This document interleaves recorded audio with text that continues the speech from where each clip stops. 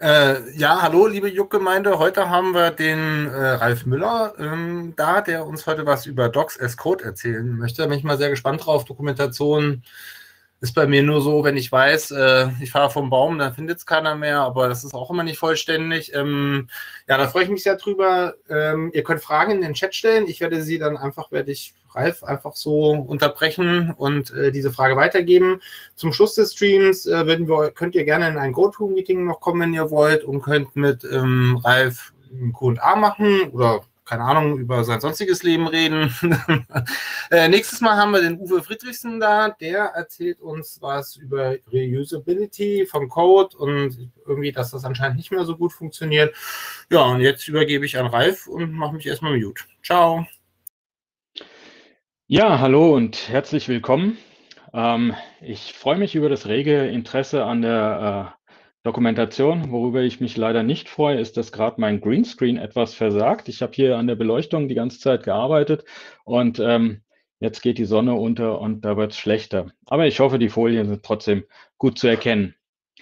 Ähm, Dokumentation. Warum beschäftige ich mich mit Dokumentation? Es gab mal eine nette Umfrage, relativ große Umfrage ähm, im Bereich Open Source, ähm, was für Probleme auftreten, wenn man Open Source einsetzt. Und das Interessante an dieser Umfrage war, dass die, ähm, die Top-Antwort, mit Abstand Top-Antwort, war Incomplete or Confusing Documentation. Und das ist ein Problem, das äh, kann man, glaube ich, auch auf äh, Inhouse-Source äh, in einem Konzern, in einer großen Firma übertragen, dass wenn die Dokumentation von äh, Libraries oder anderer Software nicht gut ist, nicht vorhanden ist, dann gibt es Probleme, weil, ähm, weil die Software nicht äh, außerhalb des Teams wiederverwendet werden kann und äh, auch bei Fluktuationen oder so bereitet das Probleme. Wie heißt so schön, Documentation is a love letter to your future self. Auch das gilt, dass ähm, die Dokumentation auch einem selbst hilft.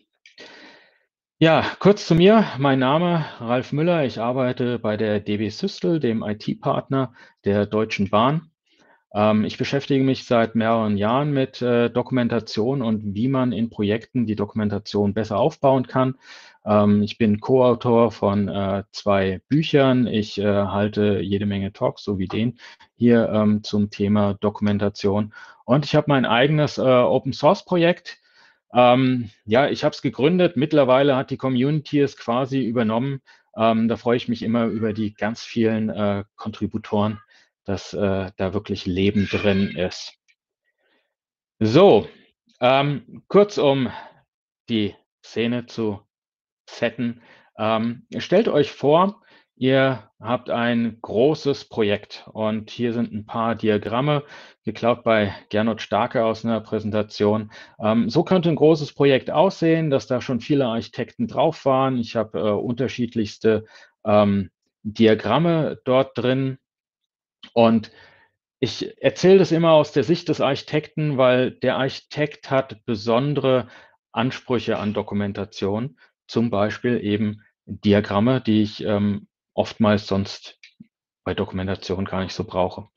Also stellt euch vor, ihr seid Architekt, ihr kommt auf solch ein Projekt, was lange gewachsen ist, ihr habt einen starken technischen Background und ihr habt jetzt als Aufgabe die Weiterentwicklung der Architekturpflege, der Dokumentation und Kommunikation der Architektur. Und äh, für einen Architekten ist die Kommunikation der Architektur tatsächlich eine, eine Hauptaufgabe. Das ist ganz wichtig und das geht sehr gut über die Dokumentation. Mhm. Ganz kurz, äh, genau, ich glaube, das ist das, was jetzt kommt. Äh, die Frage von Daniel Ludwig aus YouTube ist, äh, wie heißt das Projekt? Konnte man nicht lesen? Also, also ich glaube, das, das heißt Doc Toolchain. Genau, heißt Doc Toolchain. Und äh, da äh, komme ich noch drauf. Ähm, ich werde jetzt äh, so in dem Talk so ein äh, paar Sachen erzählen und äh, viele dieser Sachen sind in DocToolchain umgesetzt und äh, da werde ich nachher noch mal ein äh, Diagramm dann zeigen. Aber wenn man nach DocToolchain googelt, dann findet man es eigentlich ganz gut. Arc 42. Ähm, ihr hattet in dem Fragebogen beantwortet, dass ungefähr äh, die Hälfte von euch ähm, Arc 42 als Template schon kennen. Und wenn ich mit äh, Softwarearchitektur anfange, dann ist für mich ARC 42 immer der Start. Denn ähm, ARC 42 ist, ja, ich habe es hier geschrieben, das Template für Dokumentation eines Softwaresystems. Wenn ich überlege, wie ich ein Softwaresystem dokumentiere, dann ähm, bringt mich ARC 42 echt äh, weit voran.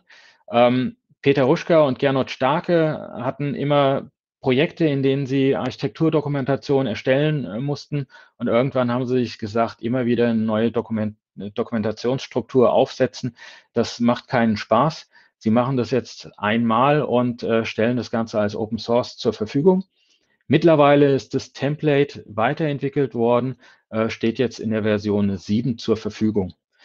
Im deutschsprachigen Raum ist es auf jeden Fall das Standard-Template. Ähm, es ist aber auch mittlerweile verfügbar in Deutsch, Englisch, Spanisch und Russisch. Und es ist total witzig, wenn man in, in diesem Projekt mitarbeitet. Und ähm, ja, klar, Deutsch, Muttersprache, Englisch kann man übersetzen. Und irgendwann kommt so ein Pull-Request rein, weil es Open Source ist, Spanisch oder Russisch. Und man versteht kein Wort mehr. Aber das zeigt die Verbreitung des, äh, des Templates. In mehreren Formaten verfügbar. Ähm, es gibt der Dokumentation wirklich eine einheitliche Struktur. Wenn man immer mit dem Template arbeitet, dann äh, findet man sich in neuen Projekten sehr gut zurecht, weil man einfach weiß, in welchem Kapitel was steht. Mit und ohne Hilfestellung, da komme ich nochmal drauf zurück.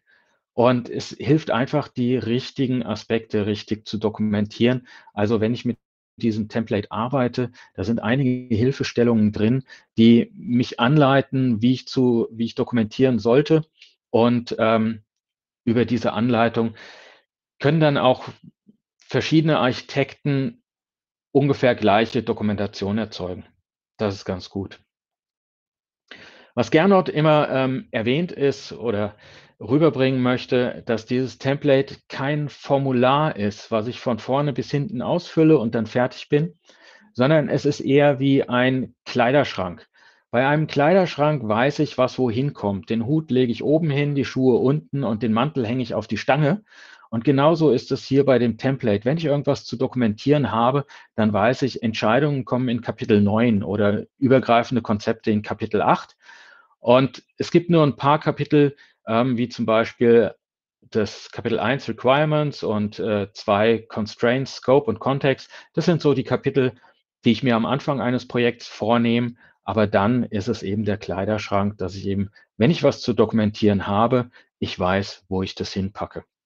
Und das ist auch so, ähm, ich habe es bei Reviews erlebt, dass man äh, mir gesagt hat, du hier, äh, du hast jetzt in äh, Kapitel 6 überhaupt nichts geschrieben. Und ähm, ja, war halt eben noch nichts zu dokumentieren in Sachen Runtime View. Und da ist manchmal auch ganz gut, wenn man dann in so ein Kapitel einfach reinschreibt, ja, das ist absichtlich äh, leer gelassen worden, weil da haben wir nichts zu dokumentieren. So, und äh, wenn man jetzt so als Architekt in so ein Projekt reinkommt, dann muss man oftmals feststellen, dass Word der meistens etablierte Standard ist, äh, manchmal auch äh, Confluence, ähm, aber so eine Architekturdokumentation liegt dann doch meistens als äh, Word vor. Und äh, wenn ich mir das ARC 42 angucke, dann, ähm, ich habe schon gesagt, es existiert in ganz vielen Formaten. Und ähm, das ASCII-Doc-Format ist das Haupttemplate, das Main-Template. Alle anderen Formate werden daraus äh, generiert. Und das war auch so, ähm, ursprünglich lag es halt als Word vor. Und äh, ich äh, kam dann irgendwann mal an und habe gesagt, also Word macht mir keinen Spaß. Können wir das nicht in ASCII-Doc ähm, transformieren. Und äh, dann hieß es, ja, dann müssen wir aber zwei Templates pflegen. Aber wir haben dann eben diesen Spagat hingekriegt, dass wir es nach ASCII-Doc transformiert haben und von ASCII-Doc in die ganzen anderen Formate. Und das zeigt schon gleich, wie mächtig ASCII-Doc ist, dass wenn ich mit ASCII-Doc dokumentiere, ich eben in diese ganzen anderen Formate komme, was recht praktisch ist. Alles ist besser als Word. Es ist. Also, ich weiß noch, ja. also bei mir war mal so eine Sache, ich war der Einzige im Team, ich hatte unter Linux Word mit so einem VirtualBox, äh, nee, mit Wine emuliert ich war der Einzige, der das äh, Dokument öffnen konnte. Bei allen anderen, egal ob es Windows oder Mac OS war, ist das Word abgestürzt, weil es zu groß war. Ja, ich meine, äh, Word hat sich weiterentwickelt. Es gibt ja jetzt auch die Webversion und so. Es, äh, ja, es stürzt auch nicht mehr so häufig ab. Ich meine, ich habe auch von meiner Diplomarbeit äh, diese Erfahrung noch. Dann habe ich äh, Word nur noch selten angefasst. Ähm, und auch witzigerweise, viele Features, die ich hier äh, erzähle, funktionieren auch in Word, wie zum Beispiel modulare Dokumentation. Aber diese Features sind so ungewohnt, dass man damit nicht gut umgehen kann. Ja. Ich habe euch mal hier einen Ausschnitt äh, aus dem Template mitgebracht. Und äh, ich habe ja vorhin schon gesagt, es gibt es mit Hilfestellung. Gernot sagt immer, ah, Hilfestellung braucht man nicht. Ähm, er kennt das Template in- und auswendig. Für mich ist es immer klasse. Und was ich total klasse finde, ist, dass diese Hilfestellung, ich kenne viele Templates, die haben dann in so einem äh, Absatz ähm, einfach so Fließtext als Hilfestellung und man sitzt davor und denkt sich, hm, soll ich das als Standardtext drin lassen oder soll ich da mein eigenes schreiben? Und hier ist es ganz klar, dass, ups, ich habe hier ähm, Inhalt, Motivation und Form. Und äh, diese drei Absätze ist klar, die müssen raus, wenn das Template, äh, wenn meine Dokumentation dann fertig ist. Aber Sie helfen mir strukturiert eben meine Dokumentation aufzubauen, weil ich damit nicht nur weiß, was kommt da rein, also Inhalt, sondern auch, warum mache ich das? Warum dokumentiere ich diesen Aspekt? Und auch die Form hilft oftmals, dass man eben weiß, ja, hier wäre eine Tabelle angebracht oder hier eher ein Diagramm. Und das Ganze sieht als ASCII-Doc so aus. Und äh, ist nicht viel Unterschied. Ne? Also ich habe jetzt hier ähm, die Überschrift mit den Gleichheitszeichen.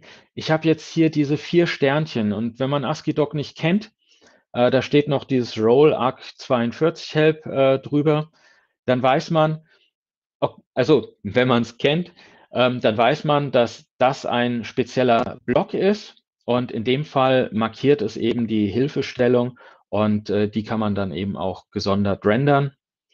So ein Punkt Inhalt, Punkt Motivation, Punkt Form sind äh, besondere Arten der Überschriften. Aber ansonsten kann ich mit ASCII-Doc, Markdown kennt wahrscheinlich jeder, ähnlich wie Markdown dokumentieren.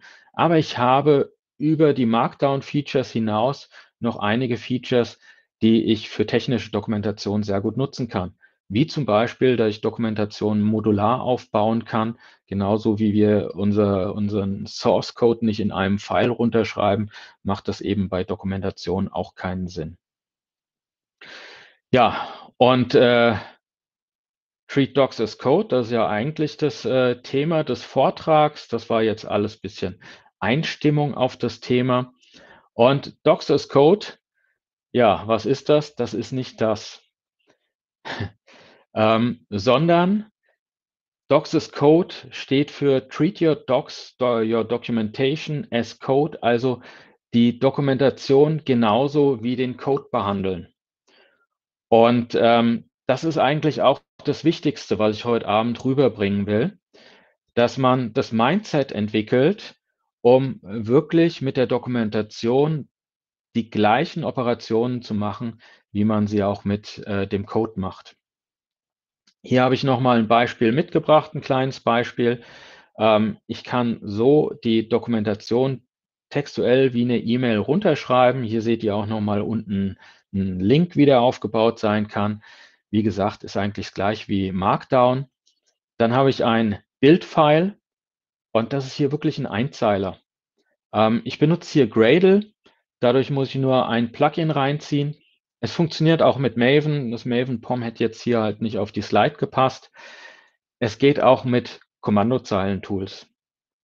Und ähm, auf der Konsole starte ich dann äh, den Befehl, um das zu bauen und habe dann mein Dokument schön gerendert als HTML. Ja, und wenn ich den Ansatz so fahre, das heißt, äh, meine Dokumentation rein textuell schreibe, dann ist das ja ablenkungsfrei. Ich muss nicht äh, wie bei einer Textverarbeitung, ich schreibe was und wups, jetzt ist die Grafik auf die nächste Seite gerutscht. Was mache ich jetzt? Äh, Fasse ich mich kürzer? Mache ich die Grafik kleiner? Oder darauf achte ich alles nicht, sondern ich schreibe die Dokumentation einfach als Information runter und überlasse es dem ASCII-Doc dann eben das äh, Layout drauf anzuwenden, das zu rendern. Ich habe Out-of-the-Box-Gliederungen in Unterdokumente. Dadurch kann ich nach Stakeholder neu äh, gliedern. Ähm, was auch cool ist, weil ich die Dokumentation textuell habe, äh, referenziere ich Bilder. Sie sind nicht direkt in der Dokumentation drin, sondern referenziert. Und ihr kennt es sicher alle, wenn man so eine Architektur dokumentiere und Diagramme in äh, Word reinpaste und irgendwann will ich ein Diagramm aktualisieren, ja, dann muss ich mir überlegen, wo dieses Diagramm alles verwendet worden ist und wieder reinpasten. Wenn ich die Bilder aber referenziere, dann weiß ich, wo die Bilder liegen, aktualisiere den Folder und beim nächsten Bauen ist die Dokumentation wieder aktuell. Ich versioniere den Text mit meinem Code, ähm, habe dadurch eben die Dokumentation im gleichen äh, Versionsstand wie den Code. Äh, Formatierung von Source Code kann ich in äh, ASCII-Doc Markdown sehr leicht machen. Dadurch, dass ich diesen Text wie meinen Code verwalte, habe ich Reviews, Pull Requests und Versionierung. Das kennt ihr alle von Git. Das geht einem relativ leicht von der Hand. Und äh, ASCII-Doc konvertiert automatisch HTML5 nach HTML5 und DocBook. Das heißt, allein wenn ihr ASCII-Doc verwendet oder Markdown, aber ich bin für ASCII-Doc, weil ihr da einfach die technischen Dokumentationen, ihr habt da die richtigen Features für, es gibt keine Dialekte, ähm, sondern nur einen Standard, dann habt ihr schon extrem viele Features out of the box. Ja, und wenn ihr das jetzt so habt und dann eben mit so einem Projekt anfangt, hier wieder unser Beispielarchitekt, der Jeff, ähm, er findet jetzt Word vor und wandelt das Word erstmal nach ASCII-Doc und dann nach HTML. Und da kommt immer so die Frage auf, gibt es einen Konverter, der mir diesen Arbeitsschritt abnimmt? Ja, gibt es. Pandoc. Ja, bitte, ja, bitte, ja, bitte. Gibt es? Gibt es? Ja, gibt Pandoc macht das, aber Word hat ein paar Features, die in einer Auszeichnungssprache wie ASCII-Doc nicht, sich nicht wiederfinden. Wenn ich zum Beispiel ein Diagramm eingebettet habe, also als Diagrammzeichnung und nicht als Image, oder wenn ich mehrere Spalten habe, dann kommt das nicht rüber. Aber ihr kennt das sicher alle aus eigenen Projekten, wenn man so eine Dokumentation vorfindet, dann ist die meistens in einem Zustand, wo man sagen muss, die überarbeiten wir jetzt mal. Und das ist dann der Moment, wo es echt sinnvoll ist, ähm, vielleicht Pandoc anzuschmeißen, um das zu konvertieren, aber dann auch nochmal über alle Absätze drüber zu gehen, um das ähm, um da einiges gerade zu ziehen. Ja, und wenn wir dann äh, diese ASCII-Doc-Files haben, rein textuelle Files, dann schmeißen die, wir die natürlich in unser Git rein, versionieren die mit unserem Source Code. Und da gibt es nicht so die Silver Bullet, ähm, wenn ich ein Mono-Repository habe, ja, dann ist klar, dann äh, liegt die Dokumentation beim Source Code. Ähm, ich würde auf jeden Fall immer schauen, dass sie so nah wie möglich beim Source Code liegt. Ähm, aber es gibt auch zum Beispiel übergreifende Dokumentation, gerade Architekturdokumentation, die ich dann vielleicht in ein eigenes Repository reinschmeiße. Aber wenn ich das habe, wenn ich das so äh, versioniere, dann kann natürlich jeder aus meinem Team, aber auch äh, Teamfremde, solange sie äh, Lesezugriff auf das Repository haben, die Dokumentation forken, modifizieren und per Pull Request einreichen und das Coole ist, den Pull Request kriege ich als Architekt mit und kann dann den Gärtner spielen. Es ist nicht so wie bei einem Wiki, wo jeder dann editiert und irgendwann ist da Kraut und Rüben, sondern ich kann Gärtner spielen und kann sagen, äh, das hätte ich jetzt irgendwie anders geschrieben oder das gehört in ein anderes Kapitel oder, oder, oder. Und das äh, tut der Qualität der Dokumentation auch nochmal gut. Ja, und wenn ich dann so einen Pull-Request reinkriege, dann kann ich natürlich on-change auf dem Bildserver das Ganze bauen und publishen. Und dadurch kann ich jetzt ähm, meine Dokumentation mit meinem Source Code auf dem gleichen Stand halten. Ich sehe zum Beispiel auch, wenn jemand am Source Code was macht und ein Pull Request reinkommt und ich habe Dokumentation und Source Code im gleichen Repository, dann sehe ich gleich, ist auch an der Dokumentation was äh, geändert worden. Ich habe zum Beispiel in meinem Open Source Projekt, dem Doc Toolchain, ähm, in dem Pull Request Template auch so eine Checkbox. Ähm, ist die Dokumentation aktualisiert worden? Wenn nicht, wurde wenigstens ein Issue aufgemacht. Dadurch halte ich das auf dem gleichen Stand und baue dann die Dokumentation mit meinem Source Code.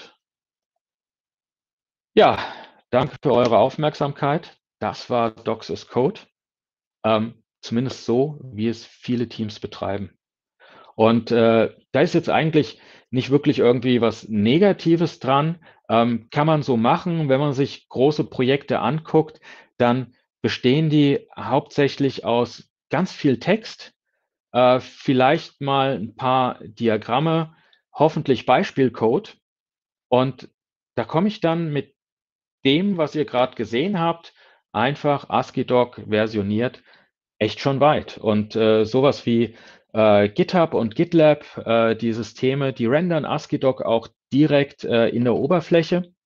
Kommen auch oft äh, diese Fragen, ja, äh, aber ich habe jetzt doch Markdown überall in meinen Repositories, ich habe überall das readme.md. Äh, Kann ich auch ein readme.adoc machen und die Systeme rendern das auch? Gibt mir ein bisschen mehr Freiheiten. Wie gesagt, ich komme damit weit. Ich will euch aber jetzt zeigen, was man noch mehr machen kann. Ja, warte, bevor du weitergehst. Jetzt gibt es hier äh, Fragen aus dem äh, Chat. Der Mehmet fragt, äh, gibt es ein Tool für ASCII-Talk, wo Teammitglieder simultan gleichzeitig arbeiten? Ich denke mal, so ein bisschen sowas wie wie heißt es jetzt von, von Idea, gibt es auch jetzt dieses, wo du so gleichzeitig so an, am Code arbeiten kannst, wie bei Confluence. Kennst du das bei Confluence, wenn du anfängst zu tippen und dann siehst du, ah, der Ralf, der arbeitet jetzt auch gerade daran und hier ist der Seppel. Also, ähm, ich glaube, dass die IDEs ähm, jetzt dazu übergehen, solche Tools anzubieten. Ähm, mir ist jetzt keins direkt bekannt, aber ähm, es ist quasi wie am Source Code arbeiten. Ähm, das heißt, zum einen habe ich meine Dokumentation modular, so dass ähm, ich meistens äh, anderen Teammitgliedern nicht ins Gehege komme, wenn ich, äh, wenn, wenn wir gleichzeitig eine Dokumentation arbeiten. Git handelt dann äh, so Merges äh, recht gut. Das ist eigentlich nicht so ein großes Problem. Aber wenn ich eben so ein Tool habe, mit dem ich äh, im Code gleichzeitig arbeiten kann, mehrere Cursor habe, dann geht es auch mit meiner Dokumentation geht H genauso, weil ich äh, die Dokumentation genauso wie den Code behandle. Ja, super. Ja, und als Architekt, ja, brauche ich Diagramme. Und Diagramme möchte ich auch irgendwie schön verwalten und ähm, nicht so getrennt von meiner Dokumentation haben. Ähm, ich hatte jetzt leider vorab gar nicht gefragt, äh, wer Plant-UML kennt. Das ist eigentlich jetzt so die Stelle, wo ich dann eigentlich mal fragen würde. Ähm, Plant-UML ist eine coole Library, die komplexe Diagramme als Text nimmt und umwandelt in ein Diagramm. Und hier habe ich ein Beispiel mitgebracht, ein Sequence-Diagramm. Und ich glaube, das ist eigentlich ganz äh, schön zu sehen, dass ähm, ich habe hier eine Sequence, User greift auf den Server zu, Server auf die Datenbank, dann geht es zurück und ist klar, wie das gerendert werden soll. Nämlich so. Viele beschweren sich über das Look and Feel von Plant UML. Man kann es ein bisschen aufpeppen, aber man gewöhnt sich auch dran und ähm, der Inhalt ist das, was zählt. Jupp, und hierbei, ja. Und hier bei so einem Sequence-Diagramm da hat PlantUML auch gar nicht viel Freiheiten, wie das gerendert werden soll. Ähm, das ist ziemlich klar. Aber wenn ich das mit einem anderen Tool mache, mit einem irgendeinem UML-Tool oder so, dann ist meine Erfahrung, dass ich immer so Probleme habe, wenn ich hier ein neues Element einfügen will, wenn ich hier neue Requests einfügen will, dann muss ich immer erst Platz schaffen und so. Das macht nicht viel Spaß. Wenn ich das aber hier textuell mache, dann ist das total klasse, weil dann schnappt man sich einfach den Text und äh, man kann dann auch so im Team mehrere Versionen erarbeiten. Guck mal, ich denke, das, das ist eigentlich so besser dargestellt und es wird einfach gerendert und man kann einen Diff drauf machen. Der Diff funktioniert super klasse, äh, jeder Request in einer eigenen Zeile und man sieht dann auch später, wie sich so ein Diagramm verändert hat. Also super klasse. Für Sequence-Diagramme möchte ich nichts anderes mehr verwenden. Aber es gibt ja auch noch andere UML-Diagramme. Und ähm, da habe ich euch hier ein größeres mitgebracht. Das ist aus einem Open Source Projekt, wo ich nur dieses Diagramm herkenne, weil auf Twitter gab es mal einen Tweet, 15 Dollar für den, der mir dieses Diagramm in Plant UML umsetzt. Ich habe gesagt, 15 Dollar, das sind drei Bier. Ich setze mich mal abends hin bei drei Bier und versuche das umzusetzen. Und, ähm, und eine Kiste? Ja. War es eine Kiste später? Nee, war keine Kiste später. Es äh, blieb bei den drei Bier, bei den. Ah gut, kommt drauf an, ob du jetzt in den Laden gehst, die Kiste holst, ne, oder ob du ins Wirtshaus gehst. Also es blieb bei den 15 Dollar. Okay. Ähm, und ich habe das umgesetzt und ich finde, es hat ganz gut geklappt. Aber was man hier nicht sieht, ist, hier hatte ich ein Diagramm vormodelliert und konnte dann hier dem Plant UML ein paar Hinweise mitgeben, in welche Richtung die Linien gezeichnet werden sollten. Ansonsten versucht Plant UML immer schön ein Layout hinzukriegen, bei dem es wenig Überschneidungen gibt, was irgendwie ganz gut aussieht. Aber es eignet sich halt nicht wirklich zum Modellieren. Wenn ich sowas wie hier unten habe, so ich sage immer sieben plus minus zwei Elemente, dann ist es ganz schnell mal so äh, hingeskribbelt im Text, in meiner Dokumentation, sieht gut aus und ist prima versioniert und perfekt. Für was Größeres, wie hier oben oder so, ja, sollte man vielleicht doch ein anderes Tool nehmen. Aber ansonsten ist Plant UML klasse. Und ähm, ASCII-Doc unterstützt mit dem äh, Diagram-Plugin, was eigentlich überall in allen Installationen mit drin ist, Plant UML, aber auch viele andere Diagrammtypen. Und ähm, man braucht immer wieder irgendwie äh, so Kommandozeilen-Tools, äh, die man installieren muss, wie GraphWiz.dot, hier für Plant.uml, damit es läuft. Aber mittlerweile gibt es äh, ein anderes Open-Source-Projekt, nennt sich äh, Croki.io, den Croki-Server. Und das Teil ist ganz cool, weil dem Server gebe ich den Source-Code von so einem Diagramm mit in der URL und er gibt mir das gerenderte Image für Plant.uml zurück oder aber auch für, ich weiß nicht wie viele, es sind verdammt viele andere Diagramm-Libraries. Da sind zum Beispiel auch äh, Libraries wie Vega dabei, womit ich äh, Liniencharts oder Tortendiagramme machen kann. Und das kann ich dann alles textuell beschreiben und das ist ziemlich cool. Und so ein Croki-Server, den kann man in einen Container packen oder den kann man im Unternehmen aufsetzen, ähm, damit die Daten nicht rausgehen. So, aber wenn ich jetzt was Komplexeres haben möchte, dann Draw.io, ich glaube, mittlerweile hat sich rumgesprochen. Ist ein ziemlich cooles Tool, ähm, ist ursprünglich webbasiert. Im Web, ja, möchte man seine Daten auch nicht hinterlassen, aber es gibt eine Desktop-Version. Und ähm, wenn ich meinen Vortrag gehalten habe, dann kamen immer wieder nach dem Vortrag Leute auf mich zu und haben gesagt, ja, das mit den Diagrammen, das ist ja schön und gut. Wir benutzen Draw.io, was jetzt übrigens Diagrams.net heißt. Ähm, und gibt es da nicht auch eine Schnittstelle, mit der wir die Diagramme rausholen können? Und ich habe gesucht, ob es da nicht irgendwie einen Export gibt, ob es eine API gibt oder sonst was. Nichts gefunden, habe es schon fast aufgegeben, bis ich in der Desktop-Version ein PNG aufgemacht habe nee, ein, ein, ein XML-Diagramm aufgemacht habe, normales Format ist XML, dann gesagt habe, save as PNG und er hat gefragt, du, soll ich den Source Code in die Metadaten wegschreiben? Ich so, wow, das hört sich cool an. Ja, mach mal. Was machst du denn dann damit? Und äh, dann habe ich rausgefunden, ja, also bei PNG-Diagrammen und SVG-Diagrammen speichert äh, Diagrams.net im Source Code, nein, in den Metadaten den Source Code mit sodass diese Dateien quasi zwei Funktionen haben. Einmal sind sie tatsächlich das PNG oder SVG, aber Diagrams.net kann sie noch ganz normal öffnen. Das heißt, ich packe in mein Projekt so ein Diagramm rein und kann es jederzeit wieder öffnen und editieren. Und das Diagrams.net ist wirklich ähm, eine recht leistungsfähige Software, mit der ich schön Diagramme zeichnen kann, so wie ich sie möchte. Ähm, ich kann nicht modellieren, aber manchmal brauche ich das auch nicht.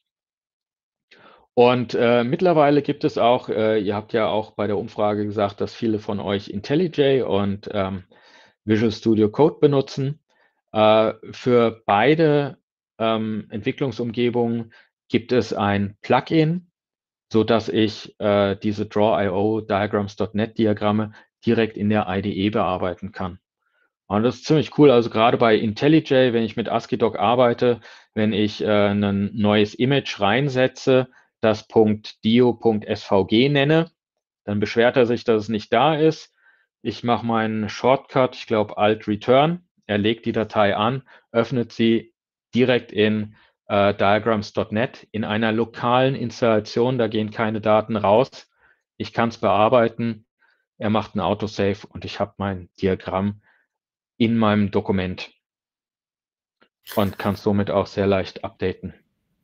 Sehr schön. Das finde ich sehr schön. Das gefällt ja. mir. Schon alleine, schon alleine, wie du erklärt hast, wie, wie ich das mit IntelliJ hinkriege, finde ich großartig. Äh, ich will ja nicht spoilern, aber kommt YAD noch vor? Kommt was noch vor, bitte? YAD, also YED. Das ist auch so eine Craft Library. XML-basierend. Nee, kommt, kommt nicht mehr vor. Ähm, ich müsste jetzt lügen, aber es könnte sein, dass es von ähm, Kroki unterstützt wird. Hm. Aber wie ich vorhin auch gesagt habe, es ist so ein bisschen dieses äh, Mindset aufbauen, ne? dass ähm, ich irgendwie schauen muss, wie kann ich gut mit den Sachen arbeiten. Und ähm, das ist jetzt so ein, ein, ganz guter Ansatz. Und dann kann ich eben auch bei meinen Tools, äh, die meine Lieblingstools sind, gucken, kann ich da ähnliche Ansätze fahren, hm. dass ich das gut hinbekomme. Ja. Nö, und ich jetzt, muss ja nicht alles drin sein, das reicht ja schon so. Ja, es ist, es ist halt es, dieser Ansatz, einfach mal überlegen, wie kann ich als Techie ähm, da mehr draus machen. Da kann man wirklich an, an vielen Stellen ansetzen. Jo. Und deswegen habe ich hier noch ein drittes Beispiel für Diagramme mitgebracht. Ähm, als Architekten sagen wir immer so hochnäsig, wir wollen nicht malen, sondern wir wollen modellieren ähm, so dass ich ein, in der Datenbank ein Modell meiner Architektur habe. Und wenn dann einer im Team auf einmal auf die Idee kommt, äh, wir nennen jetzt die, die, Komponente A, die nennen wir jetzt B, ähm, dann ändert sich in meinem Modell an der einen Stelle der Name und alle Sichten ändern sich. Sagen wir mal so 20 Diagramme. Und wenn sich das dann ändert und ich dann äh, aus meinem UML-Tool die Diagramme exportieren muss und mir überlegen muss, welche Diagramme haben sich jetzt eigentlich nochmal geändert und dann überlegen muss, ähm, wo in Word und Confluence und sonst was muss ich jetzt die Diagramme updaten, dann lässt man es lieber bleiben. Ne? Jeder im Team weiß eh, Komponente A heißt jetzt B. Aber ich kann es auch schlauer machen. Ich kann automatisieren. Wir sind Techies. Äh, ich habe jetzt hier mal ein Beispiel eines hässlichen Diagramms vom Enterprise Architect mitgebracht. Und ähm, ja, das Diagramm ist das eine. Wenn ich mit so einem Modellierungstool arbeite, dann habe ich aber auch hinter den Elementen meistens Notizen. Weitere Dokumentation oder weitere Verfeinerung der Elemente. Und äh, als ich mir das mal so angeguckt habe und gedacht habe, Mensch, das, das gehört eigentlich alles irgendwie raus in eine Dokumentation. Ich möchte es aber hier pflegen, weil hier ist es leichter zu pflegen. Wie kriege ich das jetzt raus? Ja, und Lösung ist, ich habe hier ähm, einen Tag reingesetzt, der mir sagt, okay, das ist ASCII-Doc und zieh das bitte raus in die Datei stakeholder.adoc und äh, habe mir angeguckt, ja, den Enterprise Architect kann man automatisieren. Habe ein Skript geschrieben, das läuft in meinem Bild. Und dieses Skript zieht die ganzen Kommentare raus, zieht die Diagramme raus. Und dann kann ich wieder in meiner Dokumentation das einfach inkluden. Und habe dann in dem Fall, das ist jetzt, äh, ich müsste jetzt lügen, ich glaube, das ist PDF, habe ich das Diagramm und unterhalb dem Diagramm in dem Fall jetzt eine Tabelle mit den Notizen, die ich äh, hinter den Elementen hatte.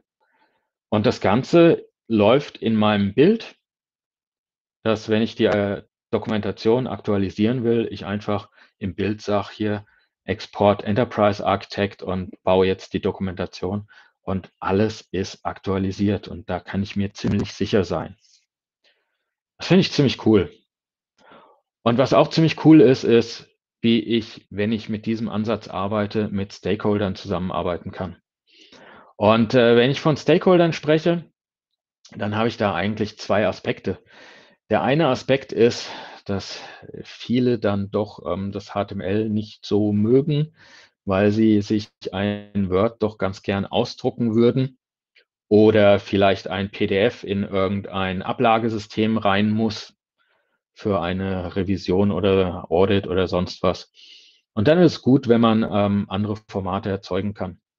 Und ich hatte eingangs schon gesagt, äh, wir erzeugen die ganzen Formate von ARC42, alles aus ASCII-Doc.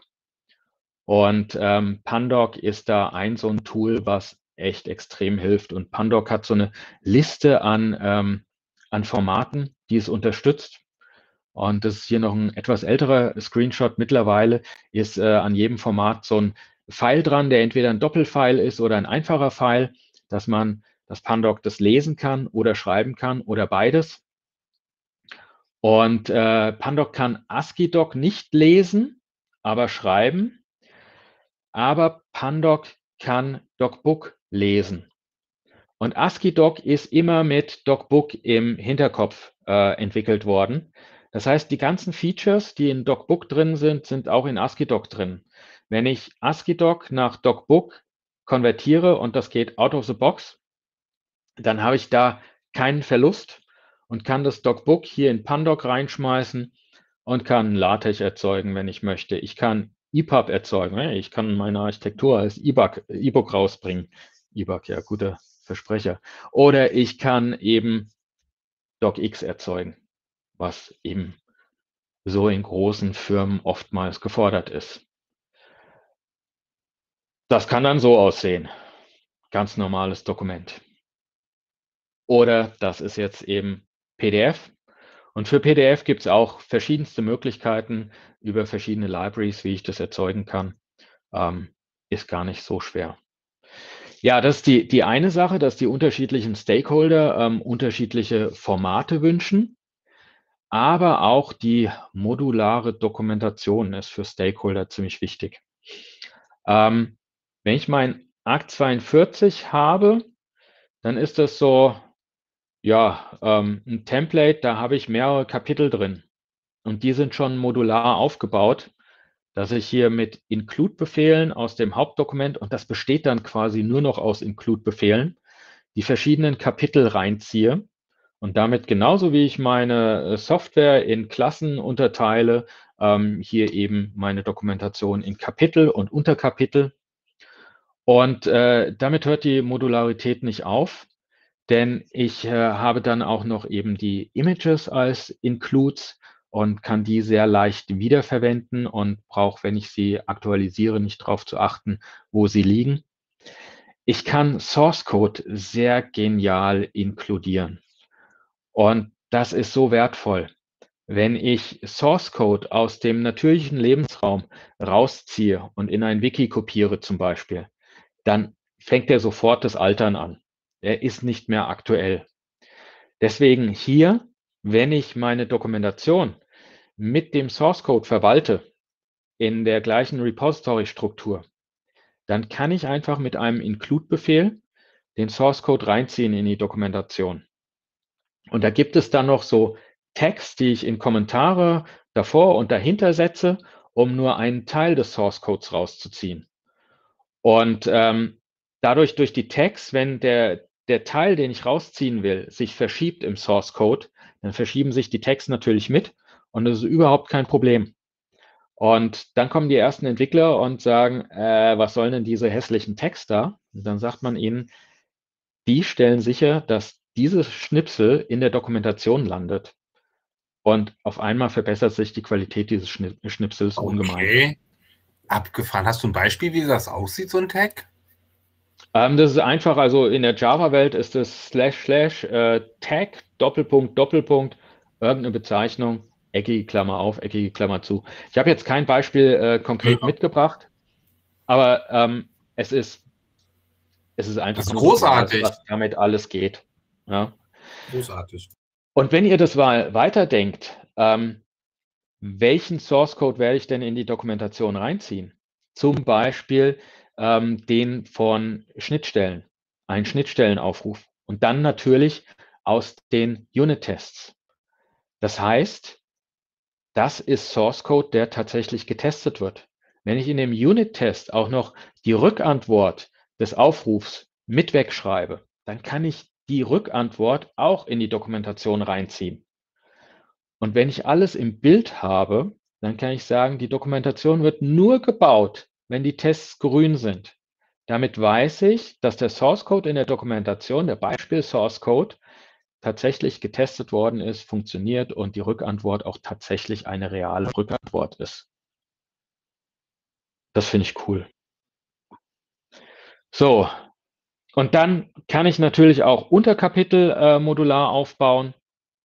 Und ähm, Kapitel 8, vorhin sind wir ganz schnell drüber gegangen, das sind so die übergreifenden Konzepte. Da habe ich dann eben immer so, mal hier dummer Umbruch, ähm, so immer wieder gleiche Konzepte, manchmal auch neue. Aber mein Kapitel 8.1 ist immer das Security-Konzept. Warum ist das wichtig? Wir reden hier immer noch von Stakeholdern. Wenn ich jetzt hier Stakeholder habe und ich habe hier zum Beispiel jemanden fachlich orientiertes, dem baue ich einen Business Master ADOC, in dem nur Kapitel 1 und 2 drin sind, die fachliche Beschreibung des Projekts. Und dann habe ich einen Security Architekten und der kriegt den Security Master ADOC, in dem eben ja, vielleicht auch Kapitel 1, 2 als Beschreibung des Projekts drin ist, aber dann eben vor allem Kapitel 8.1 als Security-Konzept. Und so kann ich stakeholder-orientiert äh, die Dokumentation rausgenerieren. Und das ist auch oftmals praktisch, vor allem auch, wenn man ähm, nicht nur von Architekturdokumentation spricht, sondern zum Beispiel auch äh, sowas wie ein Runbook für den Betrieb hat, ähm, dann kann sich das Runbook auch aus der Architektur bedienen und da ein paar Diagramme rausziehen und solche Geschichten. Ja, und wenn ich von Stakeholdern spreche und meinem Team, dann ist natürlich auch die Zusammenarbeit ziemlich wichtig. Und wenn es bei Dokumentation, Zusammenarbeit, ähm, dann kommt immer Confluence irgendwo ins Spiel. Und es gibt verdammt viele Projekte, in denen Confluence das Dokumentationssystem ist. Und dem kann ich, ja, wie sagt Johannes Dienst immer so schön, äh, ein Wiki ist der Ort, an den Dokumente zum Sterben gehen. Ja, auf jeden Fall. es ist irgendwie die ursprüngliche Idee war toll. Ähm, Wiki steht ja eigentlich hawaiianisch, Wiki Wiki für schnell. Ähm, wenn ich mir Confluence angucke, dann sind die meisten Installationen, die ich kenne, irgendwie doch etwas träger. Man mag sich nicht durchnavigieren, aber es ist oftmals gesetzt. Ähm, ich kann ASCII-Doc nach Confluence publishen. Ich rede immer vom Publishen, weil ähm, es ist eigentlich sowas, ich, ich werde nicht jeden Change da irgendwie rüberschmeißen. Aber wenn meine Dokumentation mal wieder einen Stand erreicht hat, wo ich sage, das ist jetzt des Publishens würdig, dann schmeiße ich das rüber. Und das Skript, was wir dafür gebaut haben, das ist mittlerweile durch ganz viele Hände gegangen. Ich glaube, 15 Entwickler waren da mittlerweile dran.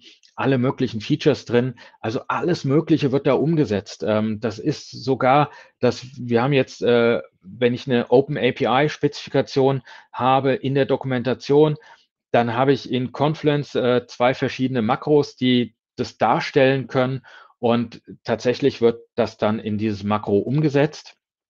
Und was aus meiner Sicht auch ganz wichtig ist, hier der eine oder andere hat es vielleicht schon gemerkt, das sind genau die Kapitel aus ARC 42.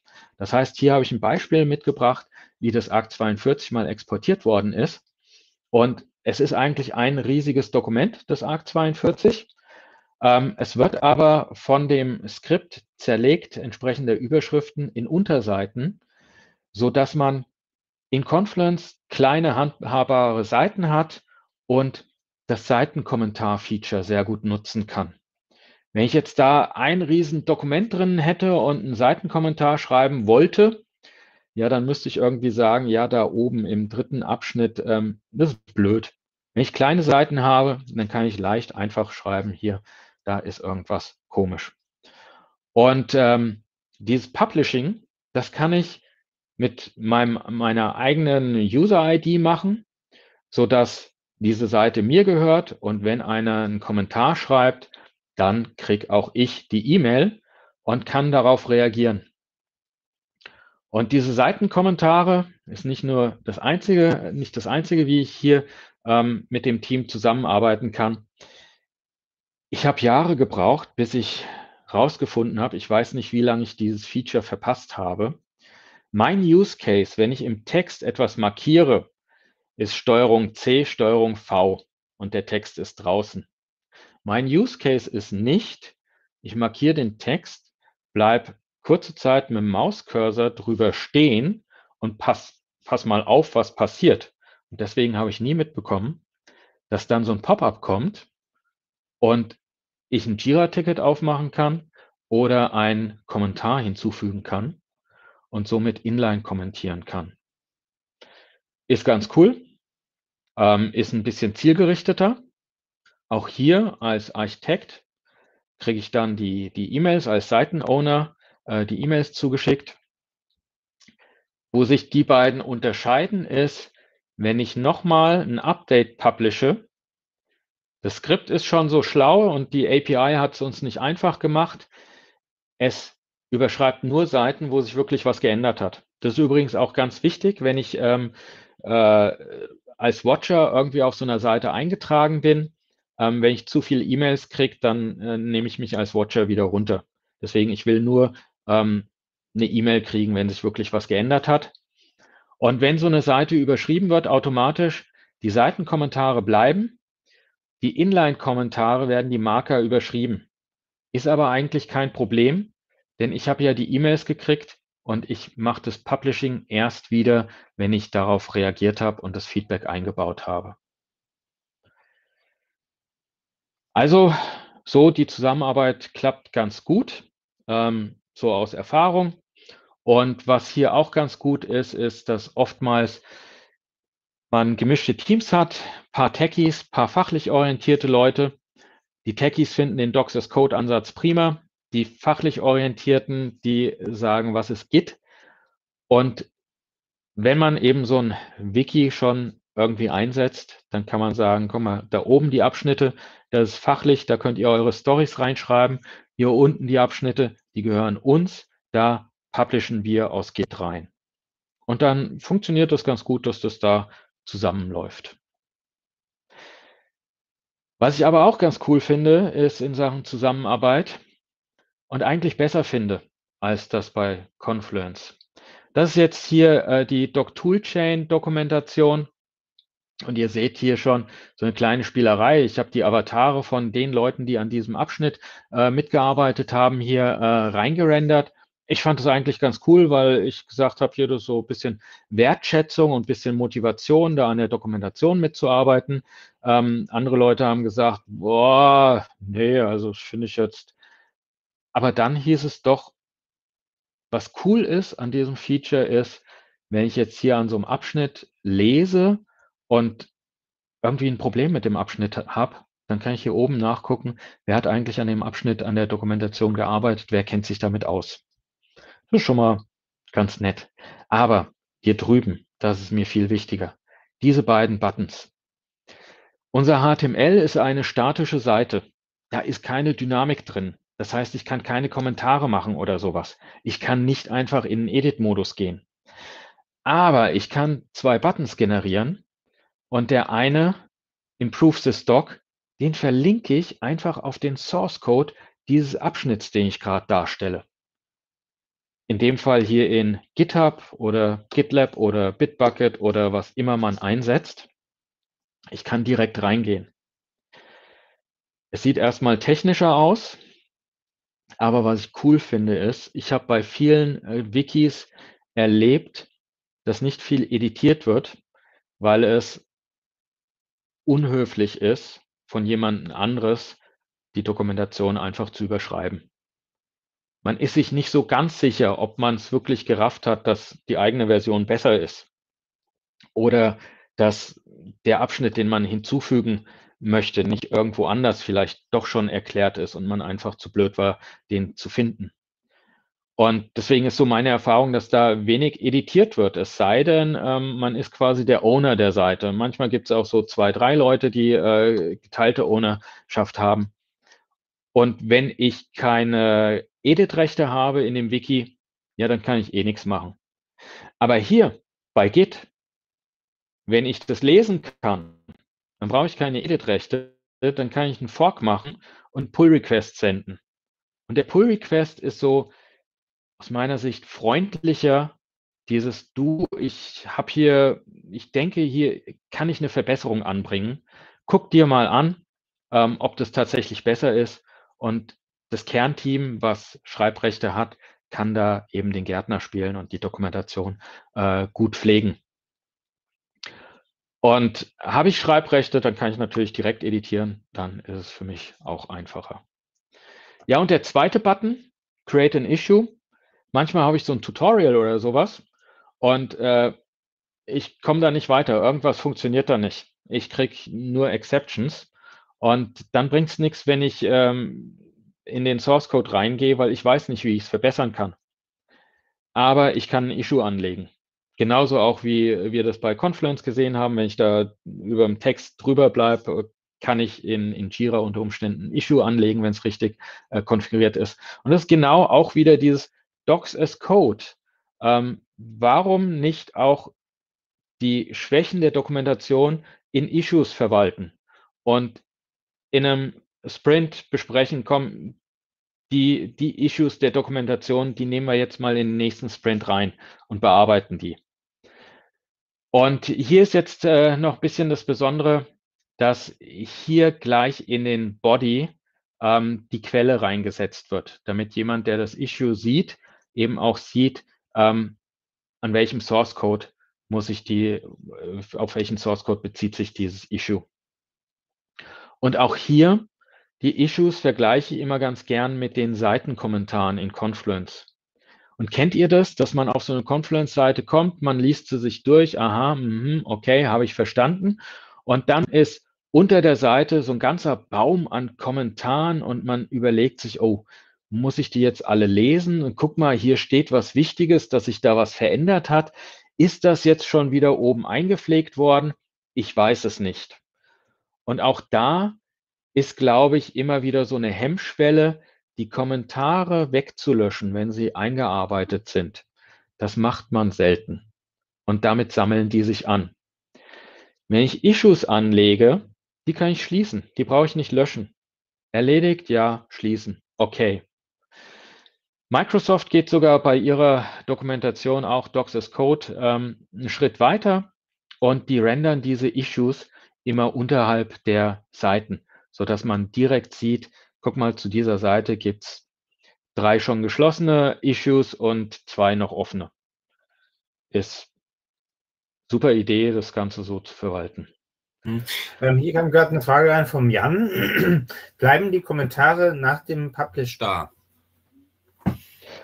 Ähm, das ist hier diese Geschichte. Die Seitenkommentare bleiben ja, da. Ja, vermute ich mal. Genau. Und die Inline-Kommentare, da setzt äh, Confluence Marker rein. Und äh, diese Marker zu entdecken, ist äh, nicht einfach und vor allem sie auch richtig weiter zu pflegen. Deswegen machen wir das nicht. Ähm, deswegen wird so eine Seite dann tatsächlich überschrieben, die Marker fliegen raus. Aber das ist die Geschichte, dass ähm, man dann eben, wenn so ein Feedback kommt, man die E-Mail schon bekommen hat, man weiß, da ist noch was zu tun und bevor man published, arbeitet man das ein. Aber ehrlich gesagt, ich kenne auch nicht viele Teams, die dieses Inline-Feature tatsächlich nutzen. Okay. Äh, meine ganz kurze Frage. hast du wirklich, äh, also wenn ich mir überlege, dass ich jetzt meinem Kunden sagen würde, also pass mal auf, du musst jetzt hier so mit Git oder mit ASCII-Doc arbeiten, ich glaube, der würde mir Vogel sein. Er sagt, nee, Word. Ich, ich glaube, der wichtige Teil ist gerade bei mir untergegangen. Wenn du deinem Kunden sagen würdest, ähm, du musst jetzt hier mit ASCII-Doc und Git und keine Ahnung was rumarbeiten. Gut, Confluence, das würde noch gehen, aber ich habe das schon mal probiert, ne? weil wir hatten auch so eine Hilfeseite, die habe ich dann mit äh, ASCII-Doc geschrieben und wir haben da mit so JBake dann da irgendwie HTML draus gerendert und ich habe dem Kunden das gezeigt und der hat mich angeguckt und hat mich gefragt, ähm, nein. also, ähm, es kommt drauf an. Das ist die typische Antwort eines Architekten. Ähm, Techies finden den Ansatz super klasse.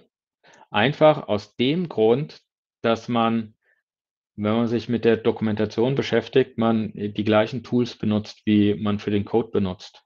Und äh, wenn ich Code schreibe, kann ich äh, in meiner IDE gleichzeitig auch die Dokumentation offen haben und nachziehen.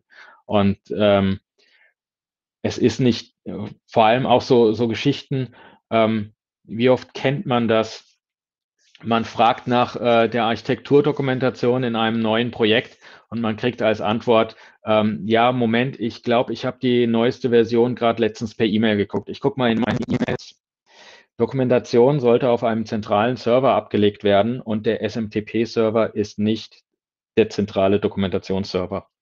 Aber es passiert, dass eben ständig Dokumente rumgemailt werden, anstatt dass man irgendwie zentral drauf verlinkt. Ähm, man hat zum Beispiel auch diese Geschichten, wenn ich ein Word-Dokument habe, ja, dann kann ich kann ich vielleicht auf dem SharePoint auf dieses Word-Dokument verlinken. Aber wie mache ich dem Empfänger klar, es geht hier um Kapitel 3, Abschnitt 5. Ähm, bei HTML kann ich direkt auf diese Überschrift verlinken. Ja, also es sind, bei dir. es sind Features, die man da mitkriegt, die echt super sind. Und äh, wenn ich Techies habe, die die Dokumentation erstellen, dann kann ich so sicherstellen, dass die Dokumentation wirklich ähm, besser, einfacher äh, erstellt wird und leichter äh, gewartet werden kann. Ja. Und mittlerweile sind es so viele Teams, die auf diesen Ansatz äh, gehen. Also zum Beispiel auch große Firmen. Microsoft hat jetzt äh, alles umgestellt auf Docs Code. Die haben sogar GitHub dafür gekauft. Ähm, Amazon, AWS ist alles Docs Code. Ähm, Facebook mit Docusaurus ist Docs Code. Ähm, das hat schon Gründe, warum man es so macht. Und äh, Leute, die da etwas skeptisch sind, ja, die müssen es mal erleben. Die müssen es mal, ihr, ihr Techie-Team erleben, wie es mit diesem Ansatz äh, Dokumentation erstellt und auch besser erstellt und pflegt. Bin ich vollkommen bei dir. Sehe ich genauso. Okidoki. Das ist cool. Ähm, zum Thema Zusammenarbeit habe ich noch äh, was mitgebracht. Und zwar Tabellen in ASCII-Doc. Und ähm, wer es kennt, in Markdown so Tabellen so als ASCII-Art ähm, ist erstmal ganz schön. Wenn ich dann irgendwie in einer Zelle einen größeren Inhalt habe, dann äh, sprengt es mir die ASCII-Art und irgendwann kann ich das nicht mehr maintainen. In ASCII-Doc, man muss sich erstmal dran gewöhnen, aber ich kann jede Zelle in eine eigene Zeile schreiben. Ich könnte es auch hier hintereinander wegschreiben, aber ich kann es in eine eigene Zeile schreiben. Und das ist ganz praktisch, weil ich es damit eben nicht so ASCII-Art-mäßig pflegen muss, sondern eher datensatzmäßig, sage ich mal. Und ähm, ASCII-Doc muss einfach nur wissen, wie viele Spalten ich habe, damit das Ganze gerendert wird. Diese Leerzeile ist nur für den Leser oder Maintainer, nicht für ASCII-Doc. Und äh, in dem Fall hier weiß ASCII-Doc über diese Beschreibung der Columns und die Zahlen sehen jetzt etwas äh, komisch aus, weil das automatisch generiert. Ähm, die geben die relative Breite der Spalten untereinander an könnte jetzt auch, wie viel haben wir? 2, 4, 6 Spalten. Ich könnte hier einfach in den ganzen Anführungszeichen einfach nur eine 6 schreiben, dann wüsste er auch 6 Spalten. Oder die erste Zeile hintereinander weg, dann würde er auch durchzählen, aha, sind 6 Spalten.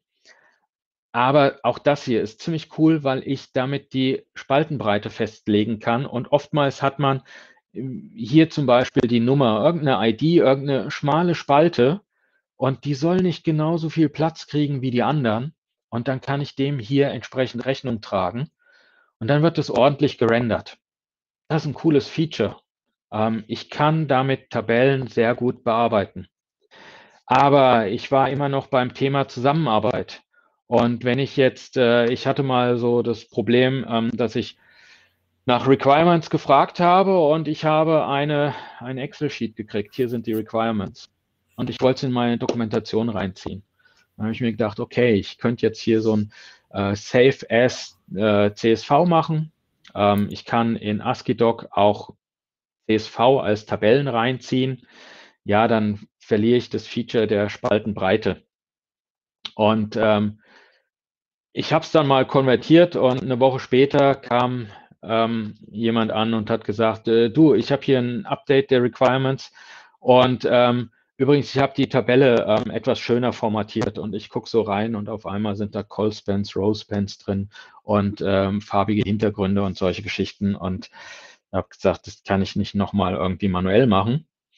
Und ähm, ja, man kann auch das automatisieren und ASCII-Doc hat leistungsfähige Features, wie ich Zellen formatieren kann. Hintergrundfarbe, ähm, die Spaltenbreite, ich habe, ähm, ich kann vollständig ASCII-Doc in den äh, Zellen verwenden. Ich habe Vertical und Horizontal Alignment, ich habe Col und Row Span. Und ich habe dann mal aus Spaß ähm, ein Skript geschrieben, was das eben konvertiert und habe mir hier so eine Tetris-Excel-Tabelle angelegt, und äh, das sind hier tatsächlich nicht einfach nur eingefärbt, sondern das hier ist ein äh, Row-Span, hier sind Call-Spans und ähm, ja, das kommt in ASCII-Doc so raus. Und das finde ich eigentlich äh, ganz, ganz okay. Also damit super. kann ich. Danke. Und jetzt ganz kurz eine Frage vom Jan. Ähm, was sind denn die Vorteile von RDoc gegenüber Markdown? Wir nutzen bei unseren Web-Frameworks zum Beispiel Mark, ähm, MK-Docs und ich habe das Gefühl, dass Markdown auch für Non-Techies wesentlich einfacher ist. Ja, das würde ich ganz gern äh, gleich in die QA-Runde verschieben. Da kann ich dann vielleicht nochmal andere Slides auch, äh, zu auflegen. Ja. Super. Ja. Auf jeden Fall, ähm, so kann ich auch, äh, wenn ich komplexe Tabellen habe, die in äh, Excel, meinem gewohnten Tool, äh, bearbeiten und in meine Dokumentation reinziehen. Ähm, die vielen Formatierungen, die sind dann vielleicht nicht mehr so, dass ich dieses ASCII-Doc der Tabelle äh, von Hand maintainen möchte, aber das brauche ich ja dann auch nicht mehr. Aber was interessant war, ähm, das Feature wurde zuerst äh, extern eingeliefert als Pull-Request in Doc Toolchain. Super klasse. Und ähm, der Entwickler hat ähm, die, die Ausgabe ähm, in Source Docs reingeschrieben, also den Bereich, den ich versioniere und nicht in den Bildbereich. Und äh, da habe ich mal nachgefragt, äh, sollten wir das nicht in den Bildbereich verschieben, weil alles, was generiert wird, wollen wir doch gar nicht versionieren. Und die Antwort war eigentlich ganz pfiffig, ähm, weil das Excel, da kann ich kein Diff drauf machen. Aber auf das generierte File kann ich ein Diff machen. Das ist total cool. Auf einmal kann ich auf Excel problemlos ein Diff machen und sehe dann eben äh, in dem generierten Diff, äh, was sich geändert hat. Übrigens, was auch cool ist, was ich immer wieder vergesse, wenn ich Formeln in dem Excel-Sheet habe, das geht über Apache POI die Formeln werden während der Transformation ausgewertet. Also ein Datum oder äh, irgendeine Addition oder so kommt auch im ASCII-Doc an. Ist dann nicht mehr dynamisch, aber kommt an. So, jetzt kommen wir so langsam zum Ende. Ähm, ich hoffe, ihr habt noch ein bisschen Geduld und äh, euer Feierabendbier oder Prosecco schon vor euch. Testing. Ähm, ich sage, äh, Docs as Code, genauso äh, die Dokumentation wie den Code verwalten, ähm, Mindset, Testing, ja, was kann ich denn mit, ähm, mit Dokumentation testen? Gernot Stark hat ein kleines Tool geschrieben, den HTML Sanity Checker. Der überprüft schon mal, ob das HTML korrekt ist oder ob ich ähm, IDs, Überschriften-IDs, äh, Sprungmarken mehrfach verwendet habe oder ähm, Alttext für Images, dass die auch wirklich alle gesetzt sind. Oder vielleicht habe ich irgendwo Broken Links, dass ich ein Image referenziert habe, was gar nicht mehr existiert oder sowas. Und das Tool erzeugt ganz cool wie Unit-Test, ein Report und ich sehe die Qualität meiner Dokumentation und äh, kann eben darauf reagieren, kann sagen, das, das muss ich erstmal fixen, bevor wir das irgendwie äh, rausschmeißen. Wird mittlerweile auch von großen Projekten eingesetzt. Ich glaube, Micronaut zum Beispiel setzt es ein. Ist ziemlich cooles Tool. Aber es geht auch anderes. Ähm, Wer schon mal JavaScript programmiert hat, äh, ich, ich finde, in der, in der JavaScript-Welt ist es äh, weiter verbreitet als in der Java-Welt dieses Linting, dass ich darauf achte, dass äh, die geschweiften Klammern an der richtigen Stelle sind und sowas. Ähm, da kann ich viel machen und so, sowas ähnliches kann ich auch mit Dokumentation machen. Und der Hemingway-Editor, das ist ein Webtool, ist ein äh, sehr gutes Beispiel, äh, was meinen Source Code analysiert und sagt, ähm, du, hier hast aber einen langen Satz und hier hast einen sehr langen Satz und den versteht so keiner mehr. Oder hier hast du ähm, Phrasen, die, komm, lasse einfach weg. Ähm, genauso mit den Adverbs und Passive Voice liest sich nicht gut, versucht es in Active umzuwandeln. Und dann kriege ich hier so einen Readability Score und theoretisch könnte ich das in Sonar Cube hochschmeißen oder so. Auf jeden Fall, ich kann meine Dokumentation auf äh, verschiedene Aspekte tatsächlich testen. Ja, und äh, du hast gerade eben schon äh, JBake erwähnt gehabt. Äh, wenn ich meine Architekturdokumentation habe, dann kommt vielleicht ein User Manual dazu. Und dann habe ich Test Reports und äh, vielleicht will ich mit einer Landingpage mein Projekt äh, auch ein bisschen anschaulich beschreiben, dass man nicht gleich in der Textwüste landet. Und ein Weblog, in dem ich äh, so die neuesten Aktivitäten beschreibe oder auch äh, ADRs, Ar äh, Architecture Decision Records. Und wenn ich so viel Dokumentation habe, dann eine Suche drüber und natürlich eine Navigation. Und ja, äh, auch ich setze JBake ein, weil in der Java-Welt ist JBake einfach, einfach klasse. Es, es es ist in Java geschrieben. Ich kann notfalls in den Source Code rein, habe ich bislang noch nicht gemusst. Aber es gibt für alle Build-Tools gibt es eben auch ein Plugin. Und selbst die Templates, wenn ich die Groovy Templates auswähle, dann kann ich ähm, da in den Templates mit Java arbeiten. Hier gehe ich mal etwas schneller drüber. Ähm, es gibt noch andere Static Site Generators, die mit ASCII-Doc arbeiten. Ähm, hier habe ich mal so eine Bewertung. Es gibt auf äh, staticgen.com. Ich glaube, das letzte Mal, als ich geguckt habe, waren es 320 Static Site Generators, die dort aufgeführt sind. Ich kenne mittlerweile sechs, die ASCII-Doc verwenden. Antora ist von dem Macher von ASCII-Doc, bringt leider keine Landingpage mit, bringt äh, kein Weblog mit, ist in Node.js geschrieben, ist für mich als Java-Mensch etwas ferner. Genauso Jekyll sehr beliebt, äh, oft auch selbst verwendet. Ruby und Liquid ist jetzt doch nicht so meine Heimat. Hugo sehr schnell, wenn ich Markdown verwende, wenn ich ASCII-Doc reinbringe, dann wird es langsamer, aber auch hier wieder die Sprache Go. Bei JBake bin ich hängen geblieben, weil Sprache des Tools ist Java, Template kann ich Groovy verwenden, also auch Java und kann mein Know-how einsetzen. Und das Ergebnis, was rauskommt, das ist jetzt hier unser, unser DB Systel Microsite Master, den äh, die ganzen Teams zur Dokumentation verwenden. Hier seht ihr eine Landingpage, dann hier einen Ausschnitt aus der Architekturdokumentation, die dann hier im Menü ähm, entsprechend der Kapitel aufgegliedert ist. Ähm, ich habe einen Weblog, wie gesagt, da kann ich eben die, die neuesten Veränderungen des Projekts bringen. Ähm, das, so kann dann so eine Newsseite aussehen. Und oben habe ich eine Suche, die bei uns mit der konzernweiten Suche verknüpft ist. Bei Open Source Projekten nehme ich ganz gern Google, weil solche großen Suchen können eingeschränkt werden auf Sites. Und dann hänge ich hier einen Hidden Parameter rein, dass die Suche, die, wenn ich eine Open Source Seite habe, die Suche auf die Google-Suche geht, eingeschränkt auf meine Open Source Seite und ich benutze die Google-Suche einfach als Suche. das ist ganz praktisch. Das hilft vor allem auch, dass man sicherstellt, dass eben die Seite in der größeren Suche bekannt ist und äh, man nicht eine Dokumentationsinsel baut. So, anfangs habe ich DocToolchain kurz erwähnt.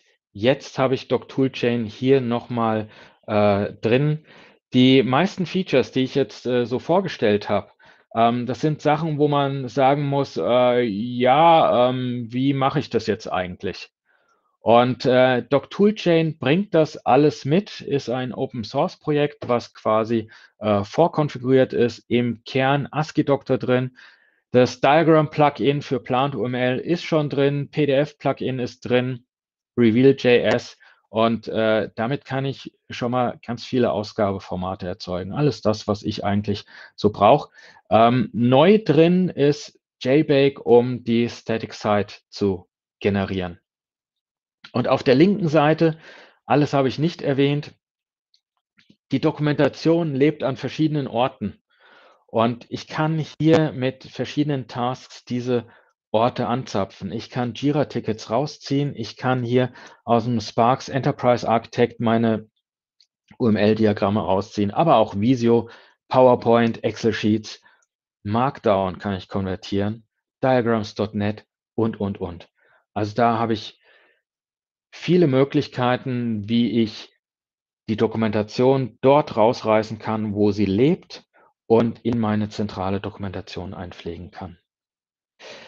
Ja, und damit kommen wir jetzt zum Ende, elf Minuten überzogen. Mit diesem Ansatz behaupte ich, ist das hier das Hauptproblem Incomplete or Confusing Documentation kein Problem mehr, wenn man so dokumentiert. Und damit erstmal herzlichen Dank für eure Aufmerksamkeit.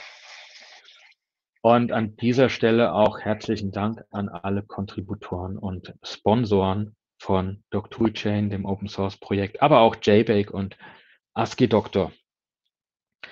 Ja, und jetzt würde ich vorschlagen, dass äh, ja, wir in GoToMeeting uns vielleicht nochmal zusammensetzen können und ich äh, würde dann gerade meine Slides rausholen, um nochmal zu erklären, warum ich ASCII-Doc dem Markdown-Ansatz vorziehe. Ja, super. Den Link habe ich gerade verschickt. Äh, wir haben so ein bisschen äh, YouTube-Lag. Ich weiß, das kennst du wahrscheinlich. Es dauert immer so eine halbe Minute gefühlt, bis das irgendwie ankommt. Und ich muss mal ganz kurz äh, aufs stille Örtchen flitzen. Ich bin gleich wieder da. Ähm, wer möchte, ja genau, ich habe den Link gerade in den Chat gepackt. Kommt rein. Ähm, Christoph schreibt Danke für den Talk. Ähm, wer noch Lust hat, kann reinkommen, fragt Ralf, quetscht ihn aus. Ähm, ich bin auch gleich wieder da. Ich habe mich super gefreut darüber, weil das genau so eine Sache ist mit Dokumentation. Ich, ich fühle mit dir und ich finde das super großartig, was du da für einen Weg beschritten hast, äh, um das so umzusetzen. Ich werde es auf jeden Fall morgen ausprobieren. Bis gleich. Sehr gut. Bis gleich.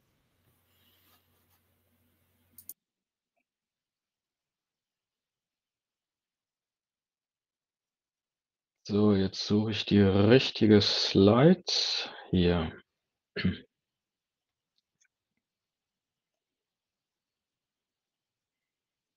Ah, ich sehe, die ersten kommen schon rein.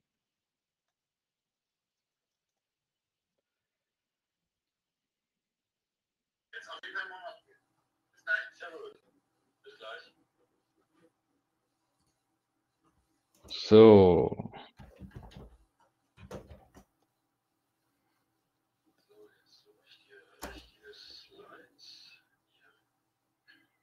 Ich höre ein kleines Echo.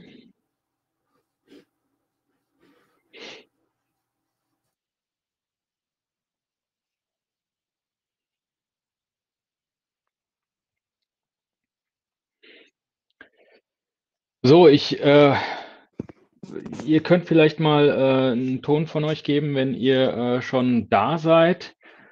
Ähm, ich weiß jetzt nicht, wer nach dem Unterschied äh, Markdown ASCII-Doc gefragt hat. Ähm, Wäre aber ganz gut, wenn derjenige mal kurz sagen könnte, ja, er ist schon da. Ich bin da.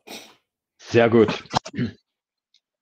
Also ich sehe momentan gerade das äh, GoToMeeting-Fenster äh, nicht, weil ich hier noch im Präsentationsmodus bin.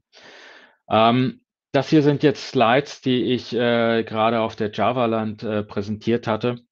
Und ähm, es gibt verdammt viele Teams, die, wenn sie den Doxys Code Ansatz gehen, ähm, sagen, ja, Markdown. Markdown ist die Auszeichnungssprache, die wir nehmen wollen. Und ähm, wenn man sich das anguckt, äh, ja, Markdown hat äh, jede Menge Features, das ist äh, toll, ist ein toller Standard für einfache Auszeichnungen und ähm, würde ich jetzt bei so einem Webforum oder so auch nichts anderes nehmen wollen. Ja, es passt. Ähm, wenn ich dann aber in der technischen Dokumentation ein bisschen weiter fortschreite, dann muss ich feststellen, so ein Table of Content oder wie ich vorhin die Tables vorgeführt habe, Includes, um zu modularisieren, Plant UML, Admonitions, diese kleinen Balken, die den Lesefluss ein bisschen führen und sagen Warning oder Info oder sowas. Das sind alles Sachen, die sind im Markdown-Standard nicht vorhanden.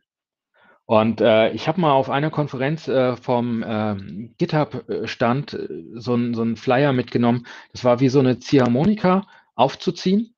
Und auf der einen Seite war ähm, Markdown-Standard beschrieben und auf der Rückseite war GitHub Flavored Markdown beschrieben. Nochmal genauso viel.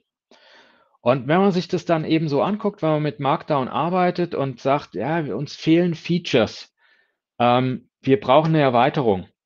Teilweise fällt einem das gar nicht auf, dass einem Features fehlen, weil man schon mit irgendwie einer Erweiterung arbeitet. Aber wenn man eben danach guckt, ich glaube, das sind hier 36 verschiedene Markup, ja, eigentlich Dialekte aufgezählt. Eine Erweiterung wäre sowas, ein Plugin, da ich sage, ich kann jetzt besser Tabellen bearbeiten. Dialekt sage ich, weil ja, ich muss mich hier für einen Dialekt entscheiden und äh, dann habe ich eben alles in diesem Dialekt. Und wenn ich mich für so einen Dialekt entscheide, dann ist die Frage, funktioniert meine Toolchain noch? Ich habe in meiner IDE ein äh, Markdown Preview. Für welchen Markdown-Dialekt ist dieses Preview? Das ist mir bei Leanpub so extrem aufgefallen, als ich an diesem Buch mitgeschrieben habe. Leanpub unterstützt äh, Markdown-Features, die mein Preview nicht unterstützt hat. Und ich musste dann ständig über den Server neu rendern. Habe ich den Syntax jetzt richtig verstanden? Habe ich es jetzt so hingekriegt, wie ich es wollte? War nicht so toll. Editor-Preview, aber auch PDF generieren und all solche Geschichten, muss man dann alles gucken, ob das eben zusammenpasst. Und wenn man dann in einem Team ähm, ein gemischtes Team hat, dass die einen Visual Studio Code verwenden und die anderen ähm, IntelliJ und noch jemand Eclipse, bei irgendwem bricht es auf jeden Fall. Als Beispiel habe ich jetzt die Admonitions mitgebracht drei so Admonitions, Hinweis, Tipp, wichtig. Ihr kennt das sicher irgendwie aus Dokumentation. Und wenn ich mir das jetzt angucke, zum Beispiel bei Microsoft Docs, dann habe ich hier ähm, diese Syntax wie so äh, bei einer E-Mail-Reply, diese ähm, eckigen spitzen Klammern und dann den Typ der Admonition in eckigen Klammern. Okay, kann ich lesen, kann ich schreiben, passt. Dann gucke ich mir View Press an und muss feststellen, das ist irgendwie anders. Ich habe diese drei Doppelpunkte. Ja, okay, ist anders. Und dann gucke ich mir Dokusaurus, also ein Facebook-Projekt an. Hey, das sieht ja fast aus wie ViewPress. Aber äh, bei ViewPress habe ich Tipp, Dokusaurus auch, ja, Danger habe ich auch. Übrigens, Danger, die Erklärung, this is a dangerous warning, finde ich klasse. So, aber dabei bleibt es auch. Ähm, ich habe bei Dokusaurus keine Warning und kein Details. Und bei ViewPress habe ich keine Info. Ja, das ist schon mal so ein Punkt, wo ich wieder nicht äh, das eine oder andere einfach switchen könnte. Und wenn man es genauer anguckt, bei ViewPress habe ich hier ein Leerzeichen und bei Dokusaurus nicht. Und ich weiß nicht, ob das einen syntaktischen Unterschied macht. Also, das sind jetzt drei große Projekte, drei große Dialekte und man muss eben gucken, wo man landet. Und das finde ich irgendwie blöd. Und im Gegensatz dazu, wenn ich mir ASCII-Doc und ASCII-Doctor angucke, ASCII-Doc zum Wording ist die Auszeichnungssprache und ASCII-Doctor ist das Tool, was konvertiert. Und die Syntax ist wirklich leistungsfähig. Ähm, das ist auch immer wieder so ein Kritikpunkt, den ich gerne höre, dass die Leute sagen, ja, Markdown ist aber einfacher. Und dann gucke ich mir Markdown an, lass mir Beispiele geben, setze die in ASCII-Doc um und die Leute merken auf einmal, oh, ich kopiere das einfach rüber und es funktioniert. Ja, ASCII-Doc unterstützt viel von dem Markdown-Syntax einfach out of the box. Ein gutes Plugin sagt, du, da hast du den Markdown-Syntax verwendet, soll ich dir das konvertieren? Ähm, aber ASCII-Doc kommt einem auch komplexer vor, weil es einfach mehr kann. Ähm, die ursprüngliche Dokumentation war so äh, One-Page, äh, die komplette Dokumentation. Ich habe mir mal den Spaß gemacht, ähm, sie nach PDF zu drucken, 270 Seiten. Da kommt was zusammen, kommt aber eben auch einfach zusammen, weil ich damit viel machen kann, wie zum Beispiel bei den Tabellen, da kann ich vieles machen. Oder bei den Includes, dass ich mit den Tags arbeiten kann und sowas. ASCII-Doc ist in Ruby geschrieben und für uns Java-Menschen ist das jetzt äh, nicht unbedingt das Präferierte. Aber mit JRuby rappe ich es auf die JVM. Und ähm, das ist Standard. Ich kann mir die gerappten Libraries einfach ziehen. Damit habe ich in der JVM ASCII-Doctor in der im genau Original Ruby Source Code. Das verhält sich genau so wie das Original. Da ist kein Unterschied. Das ist Standard. Ja, und wenn ich äh, modern irgendwie in der Webwelt unterwegs bin, da gibt es eine Version, die ist mit Opal nach JavaScript transpiliert.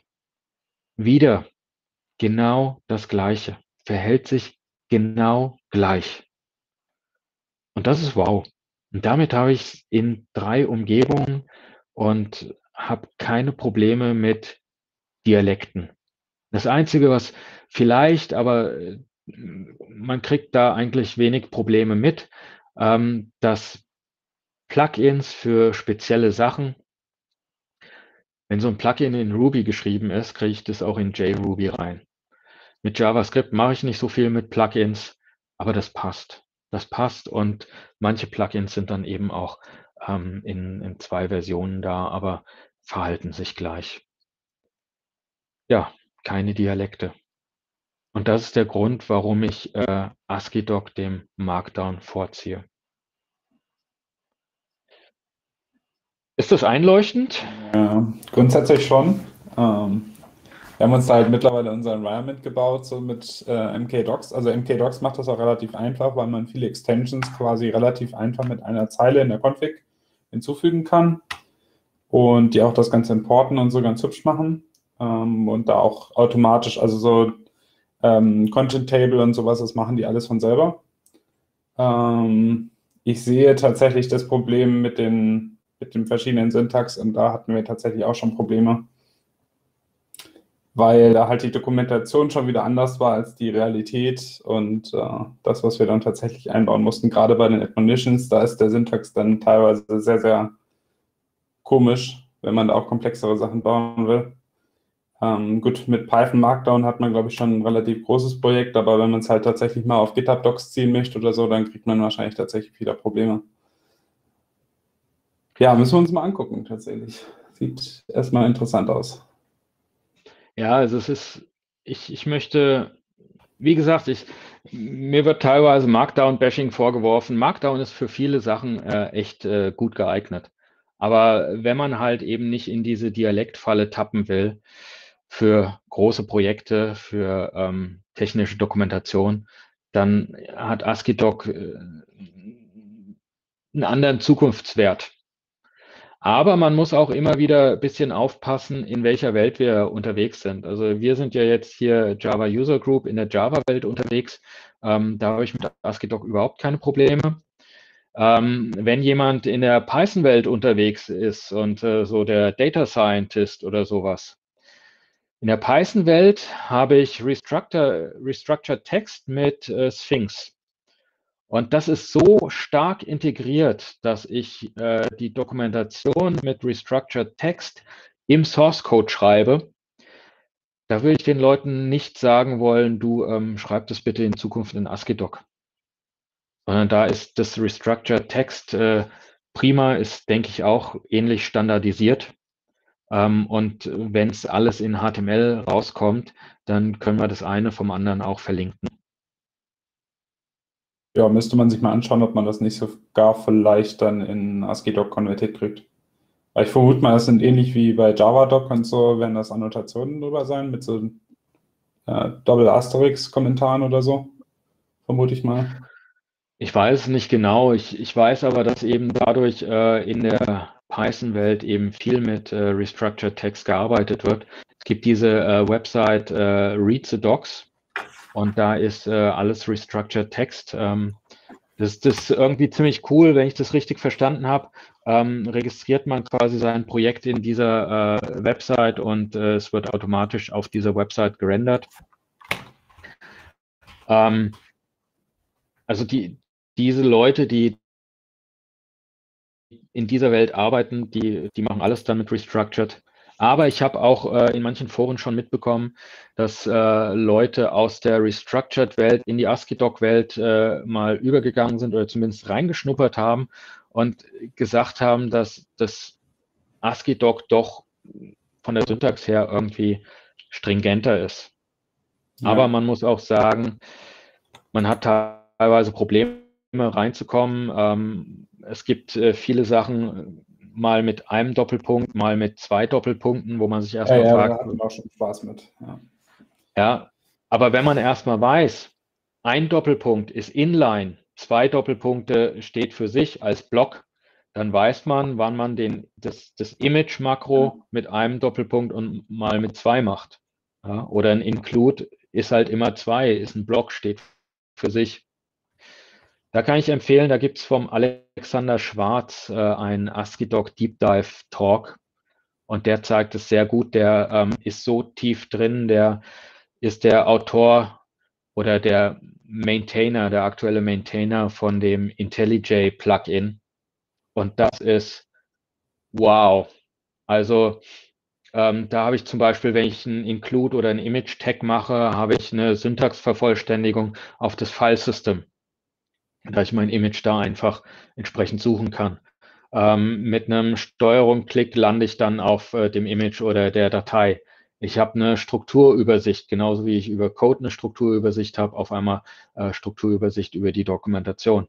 Ich habe äh, Live-Templates, wenn ich mal nicht weiß, wie der Syntax ist, dass ich anfange AD minus zu tippen und dann gibt er mir so eine Liste, was, was willst du machen? Willst du einen Include machen? Willst du eine Tabelle machen oder so? Ist total hilfreich. Ja, also ich habe immer ASCII-Doc, äh, also benutze ich immer dann, wenn mir Markdown nicht mehr reicht. Und das ist in, da, wenn ich jetzt irgendwie eine Doku an meinem Code schreibe, so ein README oder sowas, da finde ich, da ist Markdown reicht mir aus, aber ich, manchmal kommt man echt sehr schnell an seine Grenzen mit Markdown und dann mh, hm, wird auch immer SG-Doc oder sowas dann per, bei Google vorgeschlagen. Also ich Markdown ist so das kleine Ding, um, ich finde, um Textdateien irgendwie hübsch zu machen, sage ich jetzt mal überspitzt. Und ACDoc ist halt, um wirklich richtig Dokumentation zu betreiben. Also. Ja, wahrscheinlich auch für domänenspezifische Sachen besser, wegen diesen Extensions, weil man eben andere Dokumente mit einbauen kann und so. Ja. ja. Also ich kann in Markdown kann ich äh, viel, ähm, vielen Problemen ausweichen, indem ich einfach HTML reinschreibe, aber das ist ja auch nicht Sinn und ja, Zweck der Sache. Das ist halt die sehr, sehr unsaubere Lösung, weil da ist die Frage, wo es dann noch ändert. Genau, da gehen mir dann Konvertierungsmöglichkeiten ja. verloren. Seppel, ich bin gerade erstaunt, du bist auf Mute, aber kannst reden.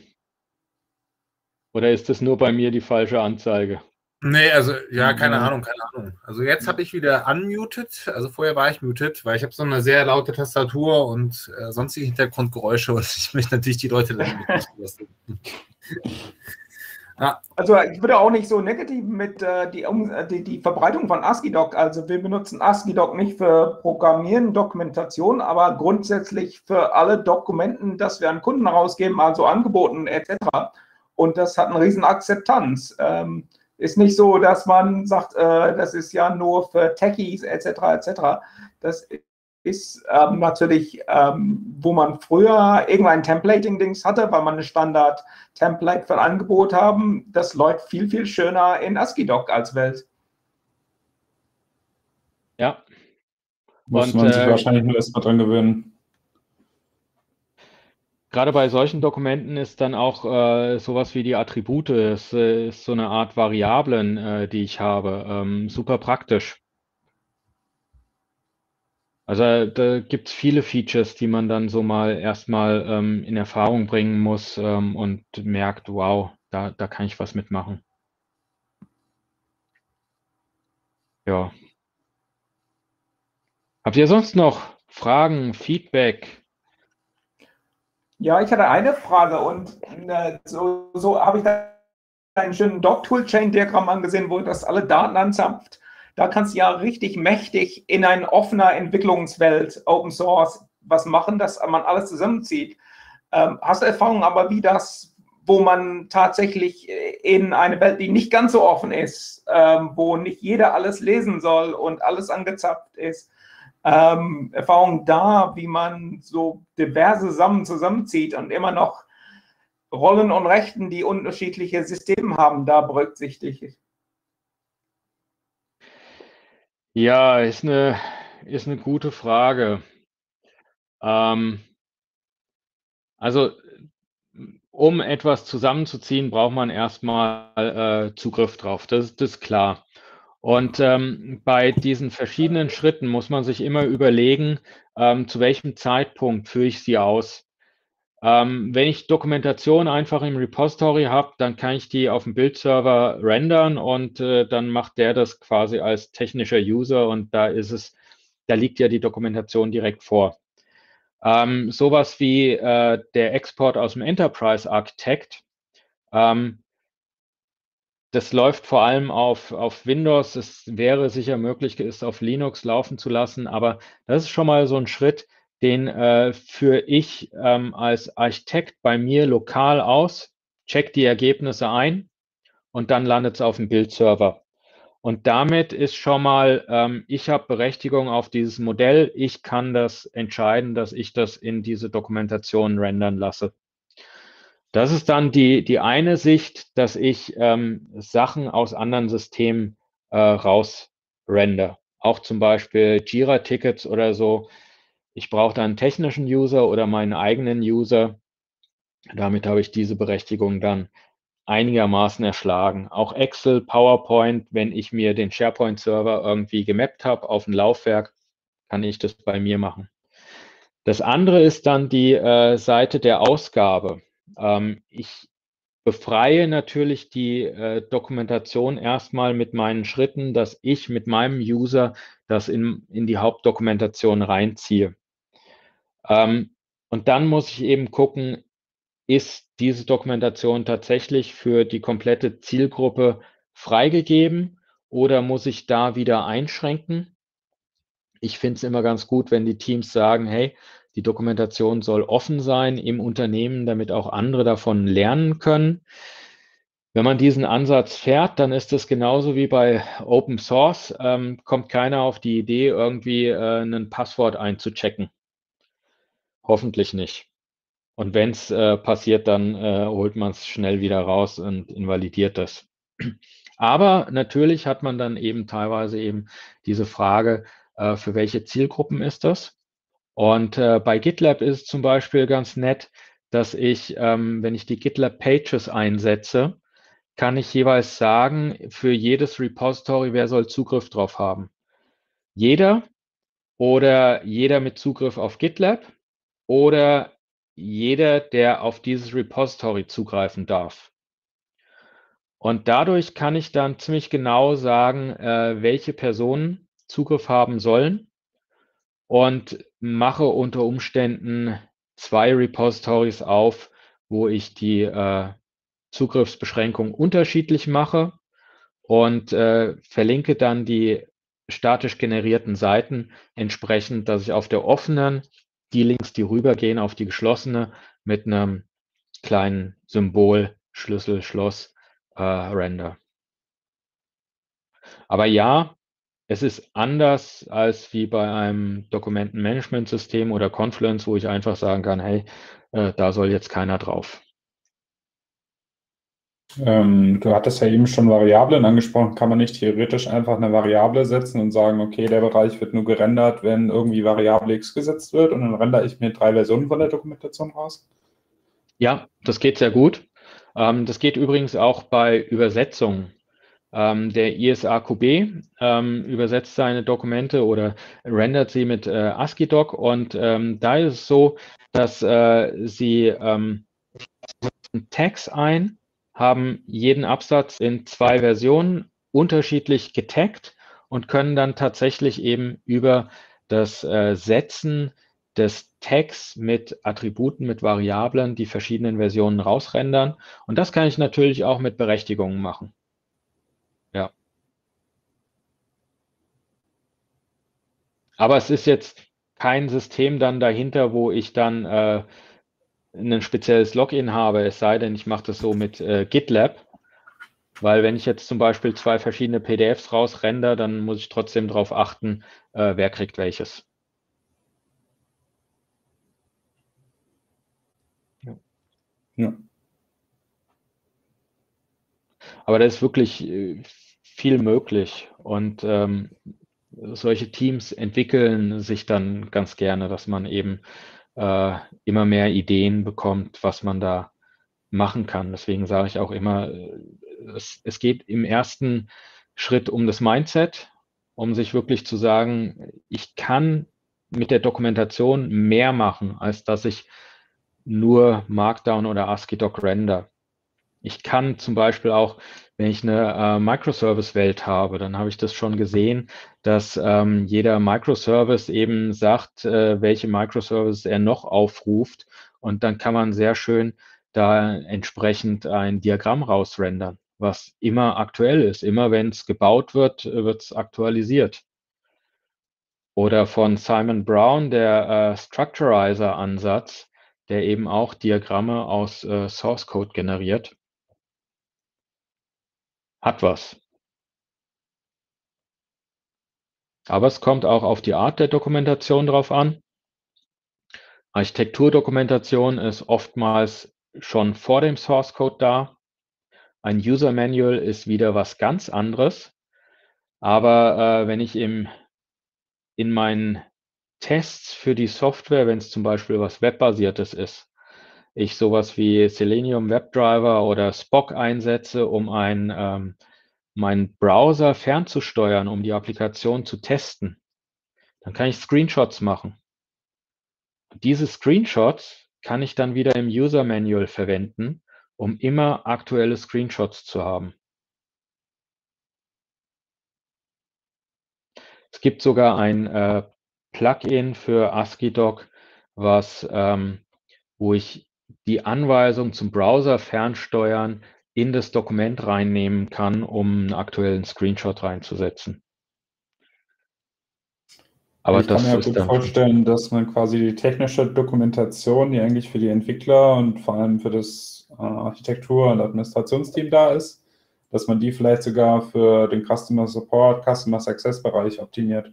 Sprich, man sagt, man macht tatsächlich so ein Permission Management und rendert vielleicht verschiedene Versionen raus und die eine Version hat vielleicht auch Hinweise für das Customer Success Team, was dann am Telefon ist, äh, während die Entwickler und äh, Systemadministratoren im Grunde genommen gar nicht wissen müssen, was es da noch für kleine äh, Einzelheiten gibt, beziehungsweise für die ist das klar, weil die halt eben in diesem Tech-Bereich drin sind.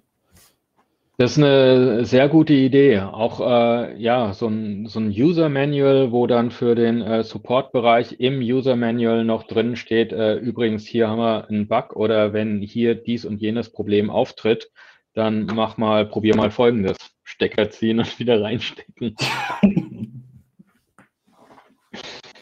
ja, also das ist wirklich, man kann viel machen. Sehr viel. Und man muss es ausprobieren. Und ich bin mit ASCII-Doc noch wirklich an wenig Grenzen gestoßen.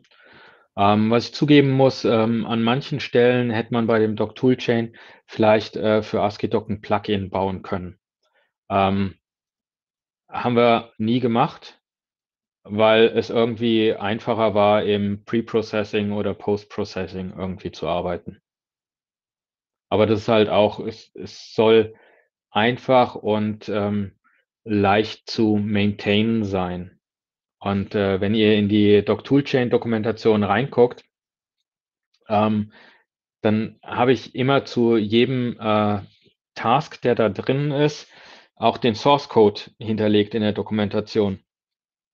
Und meine Erfahrung ist, dass das echt hilfreich ist, weil äh, wenn man die Dokumentation liest und sagt, hm, da ist dies und jenes nicht erklärt, dann habe ich gleich den Source Code und die, diese einzelnen Tasks sind nicht so groß.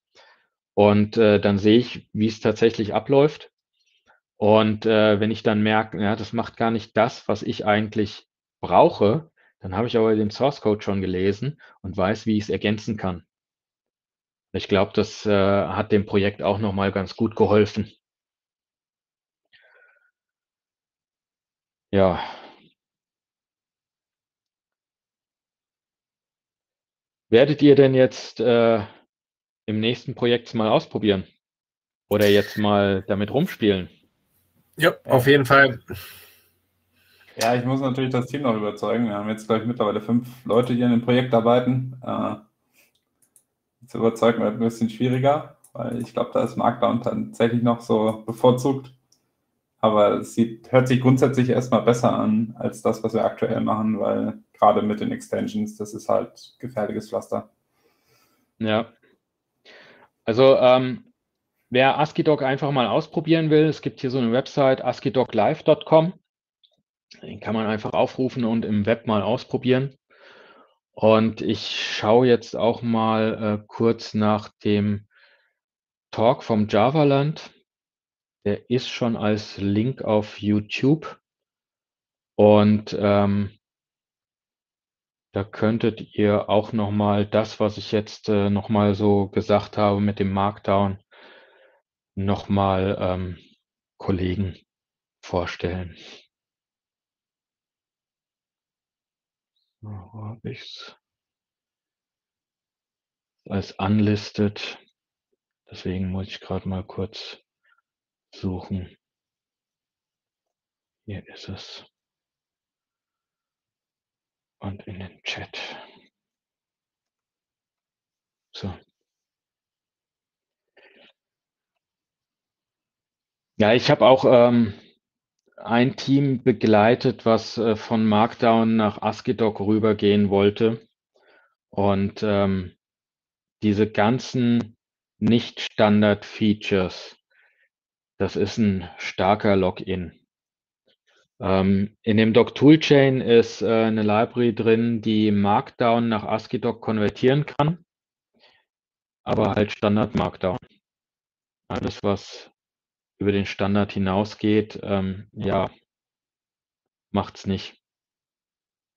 Ja, ja, wir hatten das Problem schon einmal. Wir waren ursprünglich auf GitHub Docs, aber mit GitHub Docs ist man halt sehr limitiert und wir haben es dann in ein MK Docs Projekt gezogen und da hatte ich schon die ersten Probleme, dass ich über alle Seiten drüber gehen musste und gucken musste, dass noch wirklich alles funktioniert, was wir vorher drin hatten. Und das war schon eine Riesenarbeit. Und gerade wenn die Dokumentation jetzt nochmal wächst, wir sind noch lange nicht fertig, äh, dann wird das halt katastrophal. Ähm, deswegen hatte ich auch schon mal über Jekyll nachgedacht, ob man irgendwie mit Templating arbeitet, aber ist halt auch nicht das Wahre. Ja, ich meine, Jekyll hat eine sehr hohe Verbreitung, ähm, ist auch äh, sehr leistungsfähig und toll. Ich hatte immer ein Problem, wenn ich mit den Templates arbeiten wollte, dass dann die Template-Sprache des Liquid, ähm, ja, ja also sehr gewöhnungsbedürftig schon allein ein Datum zu formatieren, bin ich dann irgendwo dran gescheitert. Und äh, bei dem äh, JBake, ähm, wie gesagt, ich nutze die Groovy-Templates. Ähm, Groovy beschreibe ich immer so als Java++. Ähm, so 98 Prozent des Java-Codes wird in Groovy ausgeführt. Ähm, und dann habe ich noch äh, in Groovy verdammt viel Shortcuts. Aber das bedeutet, ich kann wie äh, JSP ähm, quasi in den Templates meine Java-Kenntnisse nutzen und äh, kann somit äh, die volle Java-Power in den Templates einsetzen und mir die gestalten, wie ich möchte. Ja gut, DSP ist halt generell, also gerade Groovy ist halt mit dem Syntax Sugar nochmal ein ganzes Stück schöner. Ich habe eine Zeit lang ja. nur auf Groovy gesetzt, aber wir haben dann teilweise Performance-Probleme gesehen und äh, jetzt bin ich mittlerweile wieder so ein bisschen auf Java. Und halt Groovy Script für so Domain-Specific Configuration und so ein Kram. Ja. Ja, ist mit den Performance-Problemen, ähm, wenn man Compile Static nutzt, dann ähm, ist ein Großteil der Performance-Probleme eigentlich weg. Und ähm, ansonsten, es kommt immer darauf an, was man macht. Ne? Also äh, wenn ich so irgendwelche ähm, Web-Applikationen baue, dann benutze ich Groovy quasi nur als Glue-Logic zwischen Frontend, Datenbank und irgendwelchen Services. Und da ist Groovy dann nicht der Bottleneck, da ist es dann die Datenbank oder irgendwas anderes. Ne? Ja, ich habe halt Groovy, also so eine fertig compilte Klasse mal in den Decompiler geworfen und mal geguckt, was da so generiert wird. Und da ist halt sehr, sehr viel Zwischenlogik noch dazwischen, die halt guckt, dass diese Features wie diese, ähm, wie diese Closures, bei denen man ja die Properties im Nachhinein noch setzen kann und so, und der nutzt ja dann irgendwie intern irgendein Map, äh, um sich die Properties zu ziehen. Da ist halt nochmal sehr viel Logik dazwischen. Diese ganze Call-Side, wenn man sich die Exceptions mal anguckt, das ist eine Katastrophe.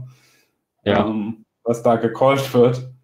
Ähm, und wir hatten einen Punkt, wo man es halt massiv gesehen hat, wo wir selber eine Implementation von einer Crypto-Library hatten. Und ich habe die von Java zu Groovy geportet und plötzlich brauchte die nicht mehr eine Nanosekunde, sondern drei Millisekunden.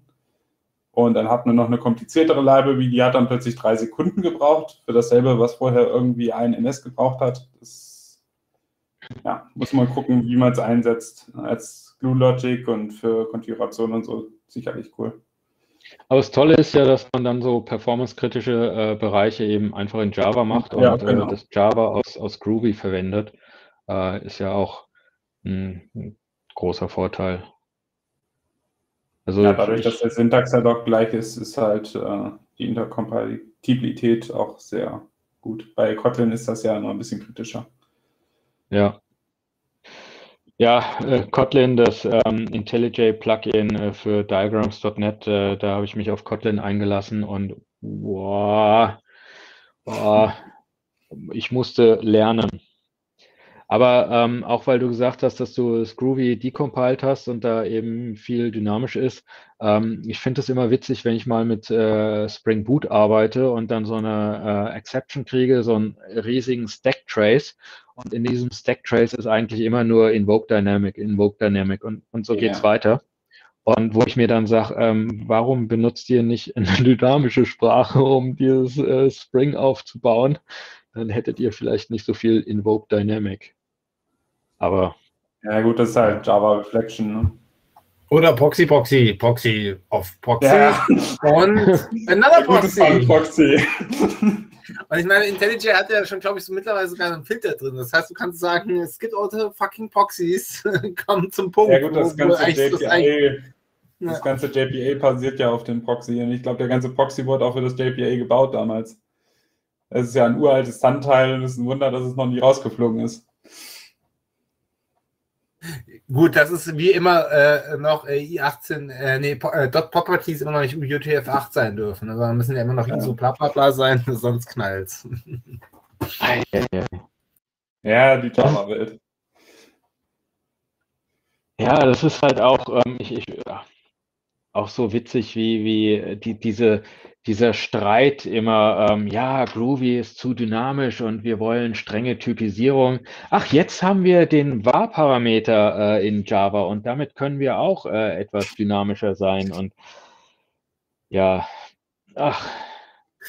Ja, ich, ich, ich, ich sehe das auch mal so. Ich sage mal so, lass doch mal Java Java sein. Also ich fand das schon mit den ganzen ähm, Functional Programming bei denen sehr speziell, wie das gelöst ist, weil ich finde, ähm, ich, ich habe sehr viel Scala programmiert, ähm, deswegen fällt mir jetzt Kotlin nicht so schwer, aber es ist halt so, es ist teilweise sehr unübersichtlich. Und ich finde halt einfach bei Java ist halt einfach der Fehler gemacht, du hast halt immer noch deinen schönen ruft das mal alles sequenziell ab und es ist irgendwie leserlich, ist jetzt irgendwie so, ja, wie kriegen wir das in eine Zeile reingepresst, rein äh, Challenge geworden. Und ähm, die Records, ich meine, jetzt gerade geht ja auf Twitter irgendwie so total ab, ob man jetzt hinten die geschweifte Klammer setzen soll oder nicht. Also man muss sie momentan setzen, die äh, Curly Brace auf und zu. Also lass doch mal Java Java sein und äh, Groovy macht Groovy-Sachen und Kotlin macht Kotlin-Sachen und so weiter und so fort. Ich meine, jede Sprache hat ihre Vor- und Nachteile. Aber warum Java gerade versucht, alle ihre, all diese Sachen, die bei diesen ganzen anderen Sachen, die gerade so ein bisschen hipper sind, irgendwie reinzuziehen, I don't get it. Na, und Boah, ich Typisierung bin auch nach wie vor ist auf super. Java Und, 8. hä? Ich bin auch nach wie vor auf Java 8. Ähm, da wird sich ja so schnell, glaube ich, nichts dran ändern. Da müsste schon irgendein Feature kommen, was so grandios ist, dass ich mal auf eine neuere Java-Version wechsle. Ja, bei mir ist es immer so, ich hoffe ja, ich glaube jetzt in Java 16 ist es eingeflossen, ähm, ist natürlich, dass ich äh, keine Strings mehr konkat- konkatenieren muss oder mich über Spring Buffer, Spring Builder Ja, das. Feature, was in einfach- Java 10 kommen sollte, genau.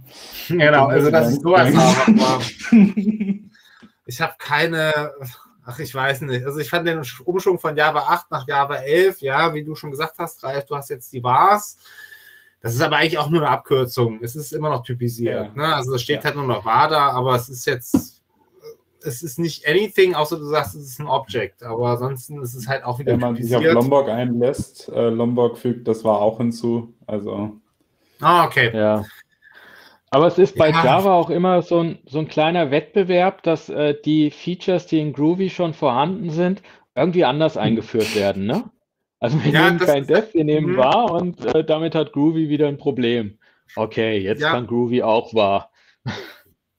Also ich sehe das auch so. Also ich, ich finde halt so, Java sollte eigentlich sich eher mehr, mehr so ähm, drauf konzentrieren, mal so API-Sachen, die man sich über Apache Commons oder sowas reinzieht. Ne? Das ist Ja, genau. Spring Utils, Collection Utils, diesen ganzen Scheiß, dass das ein Standard wird in der JVM und nicht, wir brauchen jetzt hier, also ich meine, gut, das Module-System ist meiner Meinung nach immer noch irgendwie, das, das, damit Oracle irgendwo auch mal ein paar Preisschildchen dranhängen kann an ihren Sun-Einkauf. Aber der Rest ist so immer so, ja, wofür brauche ich das? Ja, ich habe jetzt eine Streaming-API, die ist super, also nichts gegen äh, Map und bla bla bla, aber ach, wenn ich sowas brauche, benutze ich Kotlin, dafür brauche ich kein Java. Da ist, und mach doch mal lieber so ein paar Sachen wie, äh, ja, der String, also so Null-Checks und sowas irgendwie mal obsolet, ne? Also mal die Null-Pointer mal richtig bekämpfen. Das Ja gut, das haben sie ja mit Optional probiert, aber Optional ist halt sehr unnütz. Und wenn man es übertrieben nutzt, baut man sich da wieder eine Performance-Lücke gegebenenfalls ein, weil wir jedes Mal Memory allocaten für so ein Optional und Ja, ja, ja, ja. Ich will jetzt nicht deinen äh, äh, äh, Dokumentationstalk äh, mit äh, Java-Features ja. ähm, äh, übernehmen. Ganz, ab, ab, ganz abgeglitten hier. Ja, total. Kennst mich ja. Ja, Ja, Ralf, aber also ich ich, meine, Hm? ja. Ja. Ich wollte dich nicht unterbrechen. nee, alles gut. Ich wollte nur sagen, ich würde jetzt den Livestream mal beenden. Ah, der lief Ja, noch. Der lief Ja. noch, ja. Also Judith schneidet das im Zweifel eh noch. Also wir können, ich kann auch Judith bitten, äh, das rauszuschneiden. Das ist kein Thema. Ja.